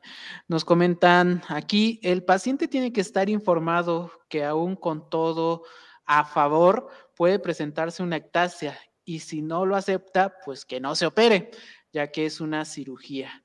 Y esto nos da la pauta para entrar a algo que a muchos les apasiona, nos apasiona, el tema de posterior a y cuando hay una situación que ya requiere la adaptación de un lente de contacto.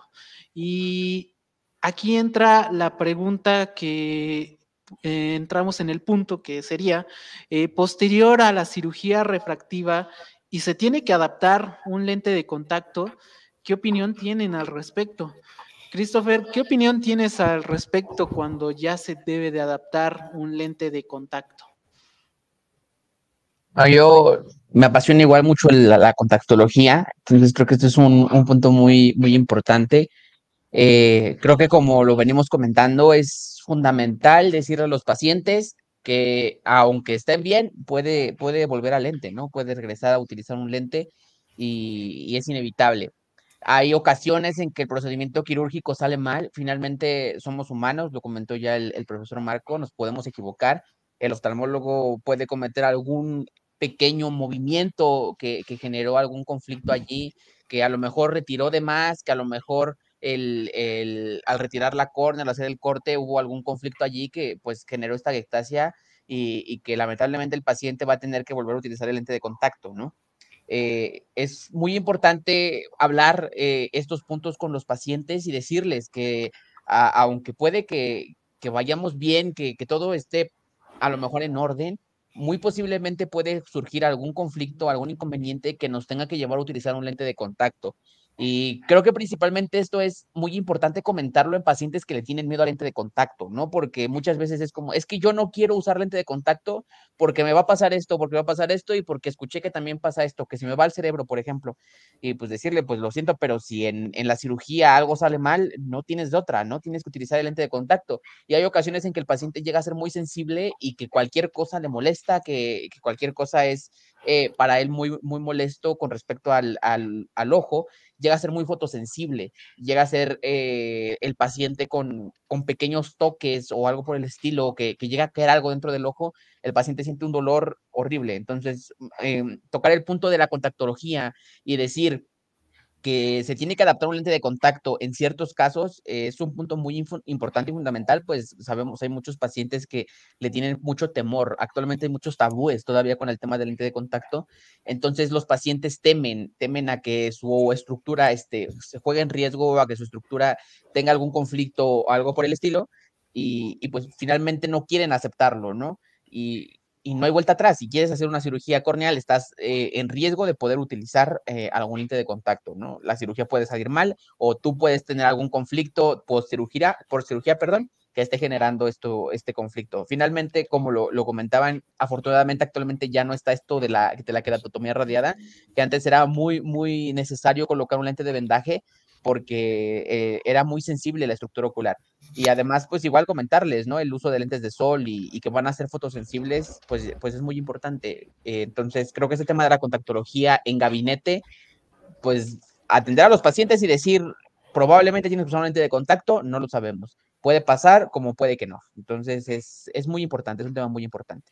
Hay que contemplar también que, bueno, algunos pacientes, en su mayoría, pues la visión no, no resulta como esperaban tras una de estas sectáceas post cirugía y no sé qué opinen, pero pues cuando uno le brinda ya la alternativa de lente de contacto, hay quienes, no sé si ustedes eh, estén de acuerdo, pues les podemos comentar que va a haber una respuesta visual que buscamos va a mejorar, ¿Qué opinan respecto a esto? Maestro Marco, ¿qué opina usted sobre el concepto de la contactología en pacientes posoperados de cirugía refractiva? Bueno, creo que es un tema y es un tema en general, ¿no? Eh, la pregunta es, el paciente siempre te va a mencionar lentes de contacto y cuando le, le mencionas rígidos piensa que solo hay un diseño. La pregunta es, orienta también al paciente a que existen diferentes diseños que el diseño también va a dar comodidad. Es cierto, el paciente ya viene sensible post una cirugía refractiva, pero la siguiente pregunta, cuestión que le tienes tú que mencionar a tu paciente es, a ver, mira, con lentes de armazón vas a tener esta agudeza visual, muchas de las veces no es satisfactoria para el paciente y es por eso que le brindamos la opción de lente de contacto, porque muchas de las veces corrige un poquito sus aberraciones, corrige el defecto refractivo que se generó post la cirugía y obviamente esto da una calidad visual pues muchísimo mejor. Me ha tocado ver pacientes que ven 20, 50 más o menos, pero con el lente de contacto mejora 20, 40 y tú dices, 20, 40 es una línea, no debería de haber mucha diferencia, pero la calidad óptica que le da el lente dicen, no, sí es mucho mejor y teóricamente solo es una línea de letras, pero esa parte creo que es importante en hacer entender que hay diseños y yo siempre estaré en contra de aquellos que ponen lentes esclerales de primera instancia en estos pacientes. Lo digo abiertamente porque no creo que es la primera opción para ellos. Tampoco es que estemos mal si en algún momento llegamos a ese tipo de lentes, pero creo que no nos debemos olvidar como optometristas que existe un RGP que se llama esférico, que podrías empezar, que me dices, no, Adrián, yo soy más pro, voy a empezar con un geometría inversa. Perfecto, empieza con tu geometría inversa y eso ya me da a mí entender que tú como optometrista sabes qué pacientes estás utilizando, qué paciente estás atendiendo, estás entendiendo la fisiología o la forma que tiene ahora esa córnea y ya estás empezando con esa famosísima contactología de especialidad, ¿no? Que inclusive para quien se optó se va a tener un curso sobre ello, entonces valdría la pena, creo que entendamos como optometristas que hay diseños que nos pueden ayudar para estos pacientes, ¿no? Y no se vale solo irme por el más cómodo, en teoría digo yo más cómodo, pues si adaptas un bien un rígido también es cómodo, ¿no? Entonces, ¿qué, diseño se sugiere? RGP esférico, geometría inversa y en su defecto el último es el escleral, que yo no lo satanizo y lo adapto también, pero no creo y no debería de ser nuestra primera opción. Eso sí lo digo abiertamente. ¿Sale? No sé, los demás. Adelante, Judith, ¿qué, ¿qué, opinas? Yo creo que aquí, como mencionaban, el diplomado de, de poscirugía, pues nos va a tocar una cátedra de Judy. Adelante. bueno, pues de los pacientes que fueron sometidos a cirugía refractiva, habrá un porcentaje de casos exitosos y otros que no. De ese porcentaje que terminaron con complicaciones o, y, ¿por qué no?, con resultados poco satisfactorios, habrá una muestra de quienes necesiten nuevamente corregir su visión, definitivamente. Habrá casos donde no será necesario intervenir con una adaptación de lentes de contacto, pero otros donde la córnea quedó tan irregular que tendrá que considerarse como una opción. Para realizar una adaptación de lente de contacto, yo voy de acuerdo que hay que partir desde una adaptación clásica, eh, es decir, eh, se puede partir desde opciones sencillas eh, como el, incluso hasta el lente de contacto hidrofílico o blando. Tal vez ya no tendrían que ser diseños esféricos.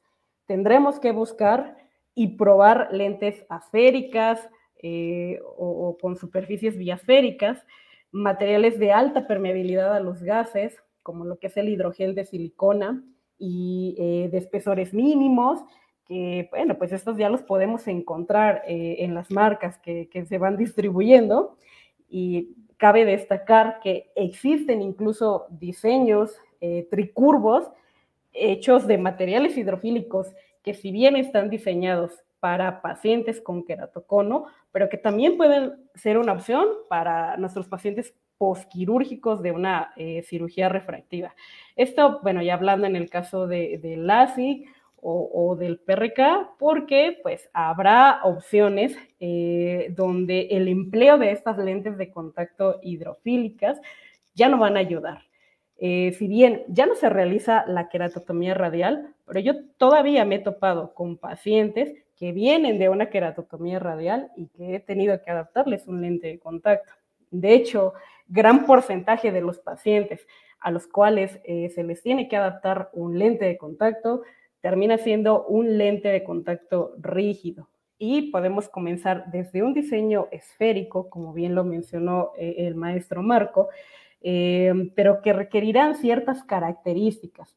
Se tiene también la opción de los lentes de geometría inversa, que se caracterizan por tener la geometría del patrón que se obtiene a raíz de la cirugía refractiva, es decir, un patrón oblato más plano en el centro y se va, eh, tiene mayor encurvamiento hacia la periferia. Y también a mí, bueno, durante el, el diplomado de lentes de contacto, yo pude ver que los diseños tóricos, los vitóricos, los multicurvos, los híbridos e incluso el sistema piggyback, que algunos optometristas están de acuerdo, otros no lo están, pero que es una opción que se puede dar eh, mediante el seguimiento adecuado, eh, pues también son una opción. Y bueno, por último, los lentes de contacto esclerales, yo también considero que son ya la, última opción que tienes para tu paciente, eh, porque habrá pacientes que ya más allá de un lente de contacto, ya van a requerir de otra intervención como una eh, queratoplastía o, el trasplante de córnea. Pero sí, tenemos varias opciones para poder adaptar eh, a los pacientes, a nuestros pacientes que vienen posterior a una cirugía refractiva. Y bueno, pues también comentar que aquí nuevamente el optometrista nos estamos involucrando ya en la etapa de la rehabilitación visual y terapéutica del paciente, porque cabe destacar que esta también es una etapa difícil, porque si en algún momento el paciente ya acudió eh, a, a, una consulta donde fue a ver si era candidato a una cirugía refractiva, con la idea de que seguramente no iba a volver a utilizar lentes, retomar algo que ya no quería utilizar o bien algo que no utilizaba porque pues, no todos los pacientes eh, ya utilizaban lentes de contacto, hay unos que mm, utilizaban solamente los lentes aéreos o de armazón, pues este estado de ánimo puede eh, ser, dificultar un poco la adaptación, pero es realizar las pruebas, así sea un lente hidrofílico, lo importante es probarlo. De hecho, eh, todas nuestras adaptaciones de lente de contacto, así sean pacientes que tienen córneas vírgenes, por así decirlo, eh, a todos deberíamos realizarle una, adaptación de lente de contacto. Si bien eh, a veces nos podemos, eh, podemos hacer una buena refracción y por motivos de tiempo, porque algunos, yo, yo, yo considero que he llegado a hacer esto, en córneas que, que, no fueron sometidas a, una, a, una cirugía, pero tomo mi refracción y pues de ahí me baso para solicitar unos lentes de contacto eh, blandos. Sin embargo, en este caso, tratándose de un paciente con una cirugía refractiva, pues eh, esto no va a ser lo ideal. Entonces, pues sí, debemos de probar, no solamente medir la cantidad visual, sino también la calidad. Debemos eh, no solamente medir la agudeza visual, sino también realizar pruebas de sensibilidad al contraste posterior a, la adaptación de la cirugía. Y bueno, pues es una forma en la cual le podremos mostrar al paciente la diferencia en cuanto a la visión y bueno, pues encaminarlo y orientarlo hacia eh, tener ya una mejor calidad de vida posterior a un caso no exitoso de cirugía refractiva. Muchísimas gracias, Judith. Interesante lo que nos haces mención y nos gustaría que nos podrían comentar, maestro Marco, eh, cómo tendría que ser la adaptación, qué esperas ver en el fluorograma, de cierta forma, pues a detalle, no tan, digamos que el detalle del detalle de la adaptación. Y estos lentes de geometría inversa o esféricos tienen que tener alguna característica especial. Vale, pues mira, eh, de alguna manera tú debes de entender lo siguiente. Yo a título personal, cuando ya un paciente tiene ectasia, ya es un paciente por cirugía refractiva, aquí sí, ya lamentablemente sí les exijo un poco la topografía. Tiene, se tiene el OSCAM, si no puede pagar un costo elevado de un Pentacam, por lo menos sí tener ese OSCAM de referencia. ¿Por qué? Porque lamentablemente en este tipo de pacientes de poscirugía no vas a tener un patrón idóneo de fluorograma como a lo mejor tienes cuando es un paciente con astigmatismo corneal, inclusive en pacientes este, con una córnea esférica, de alguna manera, inclusive hasta pacientes con ectasia, más o menos encuentras algo muy similar, pero ya en este tipo de pacientes que ya son pacientes post este, cirugía refractiva, ya no tenemos un patrón de fluorograma pues de alguna manera establecido. Si te encuentras de repente patrones en donde vas a buscar un 50-50, inclusive en la escuela, esa es una técnica de filosofía de adaptación que ocupamos, el 50%, donde vas a encontrar 50% de fluoresceína, a lo mejor 50% de, de, toque, o de acuerdo al patrón, en la forma en la que quedó este, esta cirugía refractiva, es como vas a ver el fluorograma. Pero lamentablemente, por ejemplo, la topografía sí te va a ayudar para decir, a ver, se formó una, este, ahora sí que una ectasia post cirugía, yo en lo personal ya no pondría un blando. Oye, no, la topografía me dijo que no tiene una ectasia. Posiblemente sí haría lo de Judith, le adaptaría un blando, ¿por qué no? ¿Sale? Entonces, esa orientación que tú vas a tener en estos fluorogramas, a grandes rasgos te podría yo decir entonces que no existe, bueno, para mí no existe un patrón que yo siempre te diga, a lo mejor la gente está casada un poquito con el de ortoqueratología, ¿no? Que es este forma de dona que tienes, pero ese tipo de fluorograma es un poquito más dirigido a esa, a esa famosísima ortoca, ¿no? Y de alguna manera no siempre la vas a encontrar en todos los pacientes post cirugía refractiva, ¿no? Esa famosísima dona donde el centro se ve un circulito, sale bien marcadita la fluoresceína, posteriormente se ve toque y después se ve como esa donita, ¿no? Por eso el fluorograma de dona. Pero bueno, esas son cuestiones en las cuales como profesionales no siempre vas a encontrar. Entonces, por eso menciono, tienes que buscar esa, esa topografía que te va a orientar en los fluorogramas. Creo ahí sí, es fundamental. Y aunque sea en la escuela no es tan cara la topografía, creo que es accesible, inclusive a veces si no es de muchos recursos, se les ayuda un poco, ¿sale? Entonces, creo que ahí, sí valdría la pena, porque si el paciente, yo luego digo, si tuviste para pagar tu cirugía, pues ahora te friegas y vas a ahorrar para pagar una topografía, ¿no? Aquí sí aplica un poco la de, si ahorraste los 20 mil pesos para, tu cirugía, pues ahorrale para la topo, ¿no? Sabías de esta complicación, eras consciente y, son cosas que se tienen que hacer, ¿no? Ya no se vale nada más la, la keratometría con, con nuestro aparato, ¿vale? Y aprovechando, pues, este, no sé si usted sepa el costo de la, de la, de la topografía en la FES. Eh, actualmente y hasta donde dejé yo ahorita el semestre pasado estaba en 250 Orscam en la escuela, por ojo, ¿sale? Entonces estaba bastante accesible, creo que no se me hace tan cara, por lo menos por eso te menciono, para empezar creo que está bien. Si te vas a un Pentacam, pues obviamente los costos son diferentes de acuerdo al lugar donde, donde se manden. Pero en la escuela, para mí es un buen costo. Ah, tienen una opción muy, muy interesante, accesible, colegas, en la FES Iztacala. Ahí pueden usted, ustedes eh, pues mandar ya este estudio para, para sus pacientes. Y entramos en esta parte, eh, Christopher, tengo yo la información de que pues tú has hecho investigaciones y tienes eh, información actualizada sobre el lente de contacto escleral. ¿Tú qué nos podrías comentar respecto a el escleral, la lente escleral?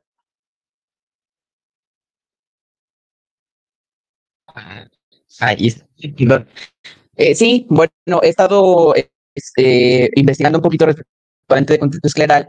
Eh, finalmente, el tema de, de cuando para Tactology, pues me amerita estar eh, realizando constantemente actualización eh, con respecto a, los artículos que hay ¿no? en la actualidad. Con respecto al contacto general, ahorita sobre lo que yo tengo un poco más. Perdón que te interrumpa, perdón que te interrumpa, como que se corta un poquito tu audio. ¿Ya escucha mejor? Ahí se escucha perfecto. Ok, listo. Eh, como comentaba, ahorita lo que tengo un poquito más de, de conocimiento es respecto a la adaptación de contacto escleral con, con, respecto al ojo seco. Y pues yo creo que eh, en relación al tema de la cirugía refractiva, pues es lo que toma un punto importante, el, el, retomar el tema de ojo seco y el tema de cirugía refractiva. Porque como lo comenté en alguna de mis participaciones, el hecho de enviar cirugía refractiva a un paciente con ojo seco no es recomendado precisamente porque la cirugía refractiva genera este inconveniente ¿no? de, de deficiencia lagrimal por por lo menos seis meses. Es lo que, eh, pues es lo que, es lo que dice la, bibliografía. Eh, sin embargo, yo coincido con el, con el chat que está en, YouTube, coincido con el, con el profesor, eh, el hecho de que el lente de contacto escleral tiene que ser la última opción, pues aquí no es tan necesario como fuera un tratamiento de ojo seco, ya que, pues como lo, lo, lo coloqué en investigación, como lo coloqué en un pequeño artículo que realicé, esto ya es una opción muy precipitada, por así decirlo, una opción ya muy al último, muy al final, ya cuando no hay otra forma de solucionar el conflicto que el paciente está teniendo. Pues lo que nos va a ayudar principalmente el lente de contacto escleral es a mantener una pequeña película entre el ojo y la córnea. Perdón, entre el ojo y, la, y el lente de contacto. Entonces, esto nos va a generar este lagrimal y se puede combinar con gotas, principalmente lubricantes para, para ayudar a que este ojo seco o que esta sensación de ojo seco, esta sensación de arenilla disminuya. Pero pues en el, en el tema de la cirugía corneal, eh, de la cirugía refractiva, yo también considero que ya es la última opción que hay que tomar a, considerar. Hay muchas otras eh, formas de adaptar el lente de contacto y el lente de contacto escleral yo creo que ya tiene que tomar en el punto en el que ya no hay forma de ayudar al paciente o de que el paciente está teniendo muchas molestias con relación a, a este tema de la cirugía refractiva. Que ya el ojo es muy avanzado, que ya el paciente está teniendo muchos problemas con, con la sensibilidad del ojo, la fotofobia es muy fuerte, además de que pues obviamente en estos procedimientos lo recomendable es utilizar lentes de soft tiempo. Entonces, eh, el lente de contacto son buena opción, son una opción muy, eh, bueno, a la que nos podemos orientar ya en casos muy avanzados, muy crónicos. Sin embargo, eh, ya sería lo último que nosotros hagamos como adaptación de lente de contacto antes de, intentar cualquier otro procedimiento. Pues además de que aquí entra también el tema de la economía. a fin de cuentas el lente de contacto escleral es muy caro, tiene costos elevados y muchas veces la economía en México no permite al paciente pagar este tipo de procedimientos. Entonces, ya viéndolo también del lado económico, del lado apoyando al paciente, el lente de contacto escleral también se deja salud. Ok, muchísimas gracias por las palabras que acaban de mencionar. Y viendo aquí los comentarios de los colegas que nos hacen mención, eh, les invitamos a que puedan ustedes comentar. estamos ya entrando en la recta final de esta mesa optométrica, la segunda que estamos realizando y que de hecho vamos a estar también eh, subiendo en Spotify. en nuestro, en nuestro perfil de punto visual, el podcast de Seopto, y tenemos aquí que nos comentan siempre de ir de menos a más. Eh, nos comentan aquí que el lente escleral son maravillosos, pero definitivamente no es la primera opción. Aquí nos hacen mención, eh, si, si, hacen ustedes mención para iniciar con la contactología avanzada y cómo deberían de ver los programas, si gustan ahorita podemos entrar en esa, en esa parte, en el apartado ya de final. Y nos comentan aquí, realizan recuento endotelial previo a la adaptación de lentes de contacto esclerales en pacientes cirugía refractiva o queratoplastia. Y aquí hacen mención sobre el claro que pague su topo, su topografía. Pues sí, la verdad es que sí. Y ¿Alguien gustaría contestar esta pregunta de si se realiza el recuento, el recuento endotelial? Creo que habíamos ya hablado un poquito sobre este tema de la microscopía especular, pero eh, para las adaptaciones de lente de contacto, pues sí se requiere, ¿no? El conteo, ¿qué opinan ustedes? De hecho, ya te va a tocar a ti, Adrián. Es parte de algo que, que no, no, no lo veíamos tanto a lo mejor en las adaptaciones, por ejemplo, en el diplomado que estamos de Ectasia, pero que ya le vamos a exigir a las siguientes generaciones, porque si uno encuentra de repente que topográficamente tienes un buen espesor, este, está bien en las keratometrías, o no es que esté bien, pues, porque ya son keratoconos un tanto avanzados, pero de repente si te encuentras con casos en donde el endotelio tiene un conteo de células endoteliales, una densidad celular de 400, ¿no? Y tú de repente dices, oye, pero ¿cómo este, está tan mal el endotelio? Y adelante no ves teóricamente nada. De repente revisas y te encuentras con muchas cuestiones que te sorprendes y donde ya está marcado otras cuestiones, inclusive opacidades que pueden ser agresivas, opacidades que no. Entonces, sí se hace ya fundamental esta parte. Y repito, si ya gastó tanto en una cirugía, pues ahora tendrá que pagar estudios un poco más especializados. Una forma de empezar en esta contactología especializada, yo siempre les diré, la pregunta que te tienes que hacer como especialista es, ¿qué es lo que yo más este, reviso en mi práctica clínica? Perfecto. Yo lo que reviso más son pacientes con ectasia. Hay diplomados en la UNAM que se dedican a ectasia. No, yo reviso más pacientes post cirugía porque el oftalmólogo opera casi todos. Pues perfecto. Hay post cirugía refractiva. Oye, no, a mí me gustaría tener un empalme de todo. Pues ya está, también va a estar, está, perdón, ya la especialidad en el IPN de lentes de contacto, ¿no? Entonces, tú eres de alguna manera el que sabe sus necesidades, tú eres el que de alguna manera les repito, necesitamos tener esa necesidad de especializarnos más porque siempre va a haber algo nuevo. Yo repito, nosotros, por ejemplo, no veíamos años atrás tan importante un contento telial, pero a base de la expertise que ya se ha tenido, dices, no, ¿sabes qué? Se escucha feo, pues, pero es la verdad. Pues ahora que pague su estudio, porque si no, no voy a hacer el, el, este, la adaptación. Y muchos dicen, ay, no, sí se puede.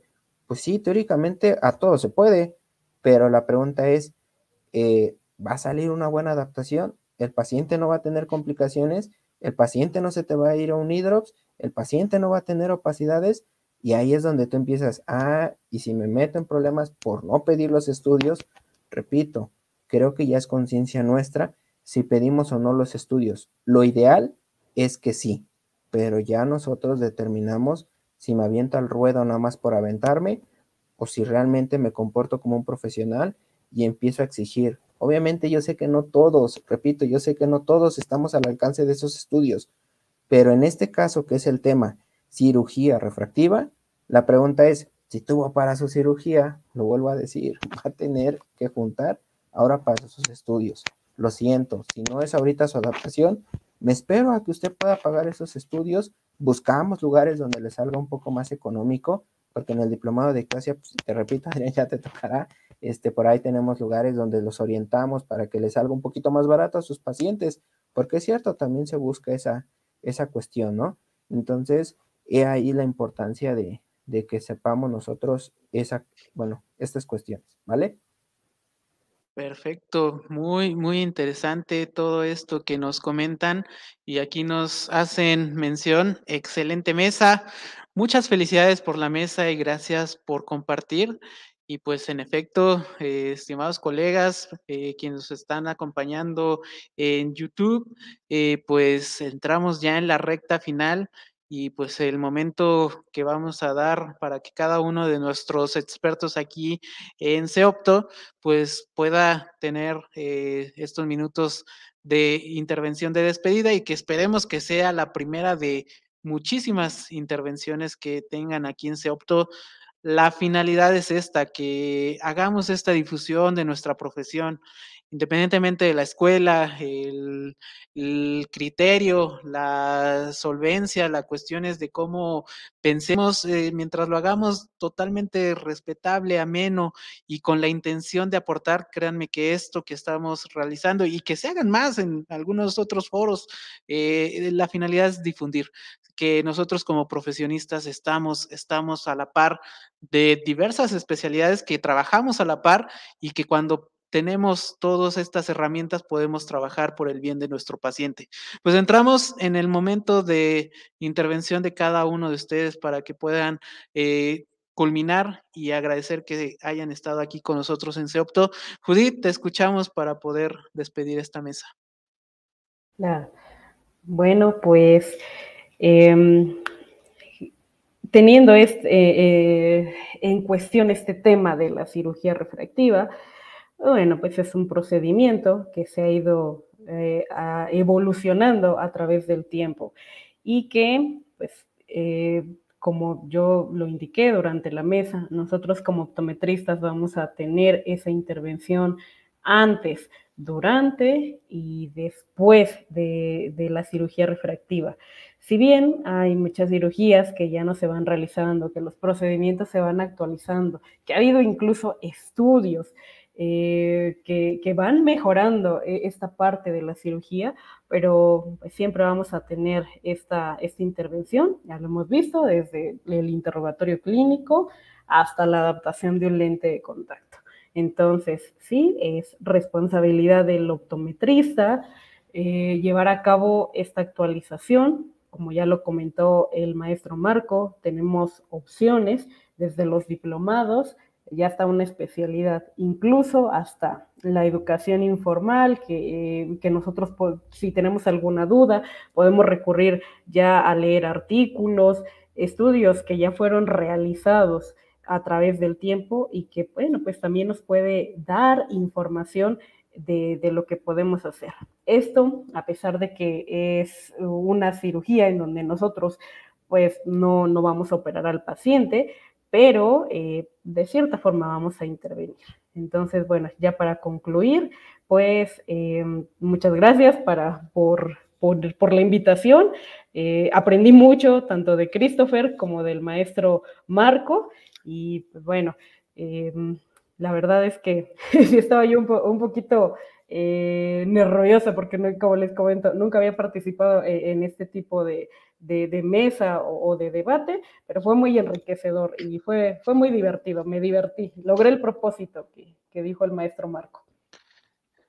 La finalidad, Judith, pues es esto, que, compartamos conocimiento, ideas y pues haga esta lluvia y que podamos hacer esta optometría de calidad. Tenemos aquí el comentario de la maestra Marcela López. Ser adaptador de, de contactología especializada es un gran compromiso profesional. Implica educación formal, expertise y valores éticos. Interesante lo que nos menciona aquí la maestra y un saludo cordial a la maestra Marcela. Christopher, te escuchamos, te escuchamos, licenciado Christopher. Muchísimas gracias. Y mira, aquí ya te están poniendo feliz cumpleaños, licenciado Chris. Muchísimas gracias en verdad por tomarte este tiempo el día de hoy en tu cumpleaños. Y pues te escuchamos, estimado. pues no me queda más que, decir muchas gracias este, a Adrián por la invitación. Siempre es un placer estar pues haciendo este tipo de cosas, como, como lo decía al principio, gracias por tomarme el tiempo en mi cumpleaños cumpleaños, la verdad es que a mí me apasiona mucho el, estar aprendiendo constantemente, el estar eh, compartiendo un poco de lo que yo sé, un poco de lo que yo he ido aprendiendo con el paso del tiempo, con, con la poca experiencia que he recabado. Finalmente tiene poquito que, que egresé de la carrera, entonces voy formándome y, y, de verdad es un gustazo estar participando en una mesa con, con la profesora Judith, con el profesor Marcos, eh, increíbles expertos en, en el tema y, y, aprender de ellos, pues también es algo que yo agradezco mucho la oportunidad de poder estar aquí compartiendo con ustedes. Creo que igual como, pues cerrando yo un poco el tema, es eh, importante eh, mencionar que como optometristas tenemos la capacidad de participar en la cirugía refractiva, hay que dejar de, de hacerla un tabú erróneo, ¿no? El pensar que no es adecuada, el pensar que no es correcto y siempre estar a la disposición del paciente, ¿no? Si el paciente quiere una cirugía refractiva, no le vamos a decir no porque es mala. Siempre hay que decirle al paciente, ok, te oriento y te ayudo. Vamos a ver qué es lo que podemos lograr. Y pues nada, muchísimas gracias a todos igual por la, felicitación y, pues espero haya sido de su agrado tenerme en la mesa y, y haya sido un poco de apoyo. Muchísimas gracias, licenciado eh, Christopher Contreras. Un gusto eh, y ver que las nuevas generaciones, tanto del Politécnico, de todas las universidades, pues están dando buenos frutos. Muchísimas gracias. Maestro Marco, eh, un gusto en verdad y vamos a estar ahí platicando y yo aprendiendo ahí en el diplomado, en verdad, pues creo y considero que voy a aprenderle mucho le escuchamos para poder despedir esta, esta mesa optométrica y pues muchísimas gracias en verdad por tomarse el tiempo para estar aquí con nosotros en Septo y esperemos que sea la primera de muchas. esperemos que sea la primera de muchas. También pues agradecer este, primero a mis colegas, a Judith, a Christopher, que se dio el tiempo en su cumpleaños, eso habla muy bien de él, ¿no? Muchas felicidades también por ello. Y también agradecer a los este, colegas que nos acompañaron el día de hoy yo de verdad agradezco la invitación, como les mencioné ahí por ahí en Bastake, la verdad es que hoy venía a divertirme un poco con ustedes, obviamente aprender, eh, compartir todas estas este, experiencias con nuestros colegas, siempre va a faltar tiempo porque este tipo de mesas de discusión, de opinión, siempre va a faltar tiempo, más bien es una invitación a que se acerquen eh, ustedes a las personas adecuadas también para que se orienten en una buena este, optometría de alguna manera profesional que nosotros hagamos las cosas correctas, que nos quitemos tabús, que no tengamos miedo. Yo siempre diré que no todos somos todólogos, que siempre algo seremos en lo fuerte, algo nos costará un poco más de trabajo, pero siempre existe y afortunadamente existe la literatura. Los invito también un poquito a que tengamos esa paciencia, leer, este, escuchar opiniones. Yo siempre he dicho, no se trata solo de juzgar por juzgar, simplemente es leer, aprender Inclusive decir algo que no nos parezca siempre es opinar. Al final del día, esa opinión que tú puedas tener, igual ya al ponente le pueda resaltar y dar una mejor opinión de lo que está diciendo o aclarar el punto de vista que está dando, ¿no? Entonces, creo que es esa invitación a todos a que nos, de alguna manera, sigamos especializando y tengamos ese punto de partida para poder este, tener esa opinión variada, porque se dan cuenta, aunque todos llegamos a un punto, Creo que cada quien tiene su propio punto de partida y eso está excelente, eso es lo que nos hace único. Mi consulta estoy seguro que es diferente a la de Adrián, Judith y Christopher y eso no tiene nada de malo. Todos estamos aquí para aprender y seguir creciendo en la contactología y como lo dijo mi maestra, ¿no? Marcela López, este siempre será un compromiso del profesional y esos valores éticos no los tenemos que olvidar. Eso es lo que nos va a dar un punto de partida en toda la contactología. Y aprovechando también, inclusive, hay muchos colegas que hacen de la forma correcta esta profesión, a las cuales les aprendes mucho. Yo en especial he aprendido mucho a un colega que se llama José Luis Rubio. Igual, Adrián, creo que tienes el gusto de conocerlo. Este, él agradezco muchos tips que me ha dado, muchas cosas que yo luego digo, ah, estás loco, eso no funciona y de repente me acuerdo, lo practico y digo, ahora sí funcionó, tenía razón, ¿no? Entonces siempre aprendes algo nuevo. Por ahí Judith la escuché en alguna ponencia, he aplicado algunas cosas, aunque este, parezca que estamos lejos, sí ubica uno a la gente, ¿no? Y entonces aplica ciertos tips que dices uno, no pensé que me fuera a funcionar, ¿no? Entonces, toda esa expertise que das, yo la agradezco, ¿no? Les repito, en especial, siempre diré y agradeceré a mis colegas que me han ayudado a crecer, les repito, en especial la maestra Marcela y el, y este, el profesor también José Luis, porque está con nosotros en el diplomado de ectasias, ¿no? Entonces, una invitación a que nos sigamos, sigamos creciendo, porque créanme que eso les va a llegar hasta donde están, ¿no? El seguir aprendiendo de los demás. Perfecto, pues muchísimas gracias y pues de igual forma, de igual forma extender si nos está escuchando el licenciado José Luis Rubio, pues con gusto le invitamos para que pueda sumarse aquí a una mesa optométrica y platicar respecto al lente de contacto. Maestro, ahora le voy a tener que decir al maestro José Luis Rubio para que, para que podamos, podamos platicar de este maravilloso mundo del lente de contacto y de la optometría. La verdad es que sería genial escucharle. Pues bueno, entramos en la etapa final, en el momento de decir adiós, todo tiene su fin y sobre todo esperemos que haya sido del total agrado eh, suyo, colegas. Queremos leerles, queremos ver qué les pareció esta mesa, qué, les, qué temas les gustaría que hagamos. Nos comentan aquí, el optometrista es una pieza fundamental en el quirófano de cirugía refractiva en la parte operativa del Eximer láser. Sería excelente, gracias por sus excelentes aportaciones. Pues entramos en esta recta final. Pues muchísimas gracias, colegas, por haberse conectado con nosotros el día de hoy. Estén atentos a cada una de estas mesas que estamos realizando, las estamos haciendo de manera, de manera mensual y pues si tienen algún tema, alguna sugerencia, algo que gustarían que platiquemos o inclusive que, que ustedes gusten, que ustedes gusten este, participar, pues con mucho gusto nos pueden contactar y podemos hacer que participen aquí en Seopto, toda con la mera finalidad de hacer una optometría, una optometría de calidad. Lo hacemos por una optometría de calidad. De igual forma, nos pueden contactar en nuestras redes sociales. Estamos en Facebook e Instagram como CEOPTO 2020, Centro de Educación en Optometría. Nos encuentran también en Spotify, donde se va a subir esta, esta emisión. Nos encuentran como punto visual, un podcast de CEOPTO. Y nos pueden también mandar un correo en Gmail. Estamos como seopto2020 arroba gmail.com y pues ahí con mucho gusto podemos hacer llegar toda esta información y que podamos ampliar todavía más este maravilloso mundo de optometría. Pues bueno, no queda más que despedirnos. Agradecemos mucho que hayan estado con nosotros en cada una de estas, de cada una de estas sesiones.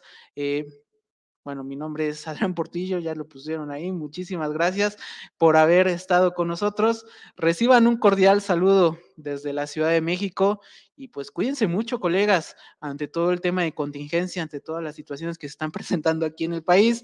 Atiendan como se debe a sus pacientes, cuídense mucho, atiendan con calidez y sobre todo hagan que nos sentamos orgullosos y que hay que decirlo, siempre hay que sentirnos orgullosos de lo que somos. Somos licenciados en optometría y pues nos estamos viendo en alguna otra emisión aquí en Seopto, si es en algún curso, alguna sesión, alguna mesa optométrica y por qué ya no decirlo, hasta en la revista de optometría de Seopto nos vamos a estar viendo. Hasta luego, colegas, muy, muy buena noche.